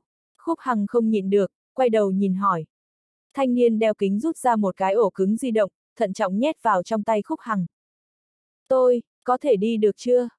Nói xong, thanh niên đeo kính chậm rãi lui về phía sau. Đi à? Đi đâu chứ? Tôi làm sao biết đồ vật bên trong này của cậu là thật hay không? Nói xong, quay người lại, vẫy vẫy tay. Trên xe, lại bước xuống hai người, cầm theo laptop. Cắm ổ cứng di động vào, bắt đầu kiểm tra thông tin bên trong đó. Hả? Cái này? Một phần mà trước đây đã giao cho Bùi Dương cái đó không vấn đề gì. Nhưng lúc này lại khiến cho hai người sững sốt. Sắc mặt thay đổi. Bởi vì những tài liệu bên trong, trừ mấy bộ phim hoạt hình, thì không có gì cả. Là cảnh một đám lợn con đang bú sữa mẹ. Đây chẳng phải là mắng bọn mình là lợn sao. Thấy bị phát hiện, thanh niên đeo kính xoay người nhanh chân bỏ chạy. Khúc Hằng gào to, đuổi theo cho tôi, không thể để cho cậu ta lên thuyền. Cho dù lên thuyền, thanh niên đeo kính cũng chạy không thoát. Nhưng đúng lúc hai người bắt được thanh niên đeo kính, phía sau cây tùng nhỏ bên đường, đột nhiên bắn ra mấy viên đá. A, à, đá bất ngờ bay ra, khiến cho hai người vỡ đầu chảy máu. Thanh niên đeo kính lảo đảo một cái, té xuống đất, miệng há to thở hổn hển, vô cùng căng thẳng. Thật là vô dụng mà. Tần Hiên bĩu môi, người này làm kỹ thuật, tư chất và tâm lý đều không ổn. Thấy hai người ngã xuống, Khúc Hằng đứng một bên chấn động, xoay người ngoắc tay, mau tới đây, thằng nhãi này muốn chạy. Bùi Dương cũng chưa từng nghĩ sẽ để cho thanh niên đeo kính bình an rời đi, nếu như biết điều trả lại tiền, thì tha cho một mạng. Nếu như không biết điều, như vậy chỉ có thể dùng trọng hình, buộc phải nôn tiền ra, sau đó sẽ giết chết. Cho nên đã bố trí không ít người mai phục ở chung quanh. Khúc Hằng vừa kêu lên lập tức không ít người vội vàng chạy tới, hơn nữa, ở xa xa đèn xe dọi lên sáng loáng, bến tàu nhỏ lập tức sáng như ban ngày. Tần Hiên cũng dẫn người đi ra, khoát tay một cái, lập tức có người tiến lên đỡ thanh niên đeo kính dậy, đưa qua một bên nghỉ ngơi. Những chuyện còn lại, thì không phải là dùng miệng có thể giải quyết được. Anh là ai? Con mắt khúc hằng di chuyển loạn xạ, một tỷ tiền mặt đã ở trong tài khoản của mình. Nếu lấy được tài liệu kỹ thuật, ông ta không quan tâm gì nữa, nghĩ là mình lúc nào cũng có thể chạy thoát thân. Nếu như lúc này cứ tiếp tục như vậy, Bùi Dương sợ là sẽ tự mình tới, đến lúc đó, tất cả những thứ mình làm này cũng sẽ bại lộ, mạng nhỏ của ông ta, có lẽ phải bỏ lại ở nơi này. Ở bên bờ biển giết người, Hạ Nhĩ là bên cạnh còn đậu một chiếc thuyền câu, nếu đưa người ra ngoài biển, cột thêm một hòn đá rồi ném xuống biển, thần không biết quỷ không hay, lập tức bốc hơi khỏi nhân gian. Người tới lấy mạng của ông. Tần Hiên phất tay một cái, chung quanh nhảy ra bảy tám người, không nói lời nào đồng loạt tiến lên. Người của Bùi Dương sắp xếp đến, còn không tính là võ giả, nhìn thì người đông thế mạnh, nhưng mấy chục người này đều không có bản lĩnh gì. Nếu là đánh thật, giống như đậu hủ đụng phải mùi rùi, không chịu nổi một kích. Khúc Hằng thấy không xong, khóe miệng giật một cái, xoay người bỏ chạy. Nhưng đang chờ ông ta, là một hòn đá to như một quả đấm. Đá đập trúng chân, Khúc Hằng ngã lộn nhào. Bất chấp trên mặt có một vệt máu dài, lảo đảo đứng dậy lại muốn bỏ chạy. Nhưng lúc này, Tần Hiên đã đứng ở trước mặt. Nếu muốn chạy đi, cũng phải đưa ra một cái giá chứ. Gian lận, thì ông phải gọi tôi là tổ tông đấy. Giao dịch phi pháp, thì cần phải có thế lực tương đương mới gọi là giao dịch, còn không thì chính là đen ăn đen. Anh rốt cuộc là ai? Khúc Hằng dường như gãy chân rồi, đứng lên không nổi nữa, nằm im trên đất, giống như chó nhà có tang. Ông có tư cách gì đặt câu hỏi với tôi? Tần Hiên biến sắc, nói đi, muốn dùng bao nhiêu tiền để mua lại cái mạng của ông? Cho tôi xem tài khoản ngân hàng một chút, được chứ? Ngoặc kép chấm chấm chấm ngoặc kép. Sau mấy lần bị thua thiệt, Tần Hiên cũng thông minh lên rồi. Trực tiếp đi xem tài khoản ngân hàng đối phương, có bao nhiêu tiền chuyển đi bấy nhiêu là được, nói nhảm nhiều cũng không cần thiết. Audio điện tử võ tấn bền. Hết chương 340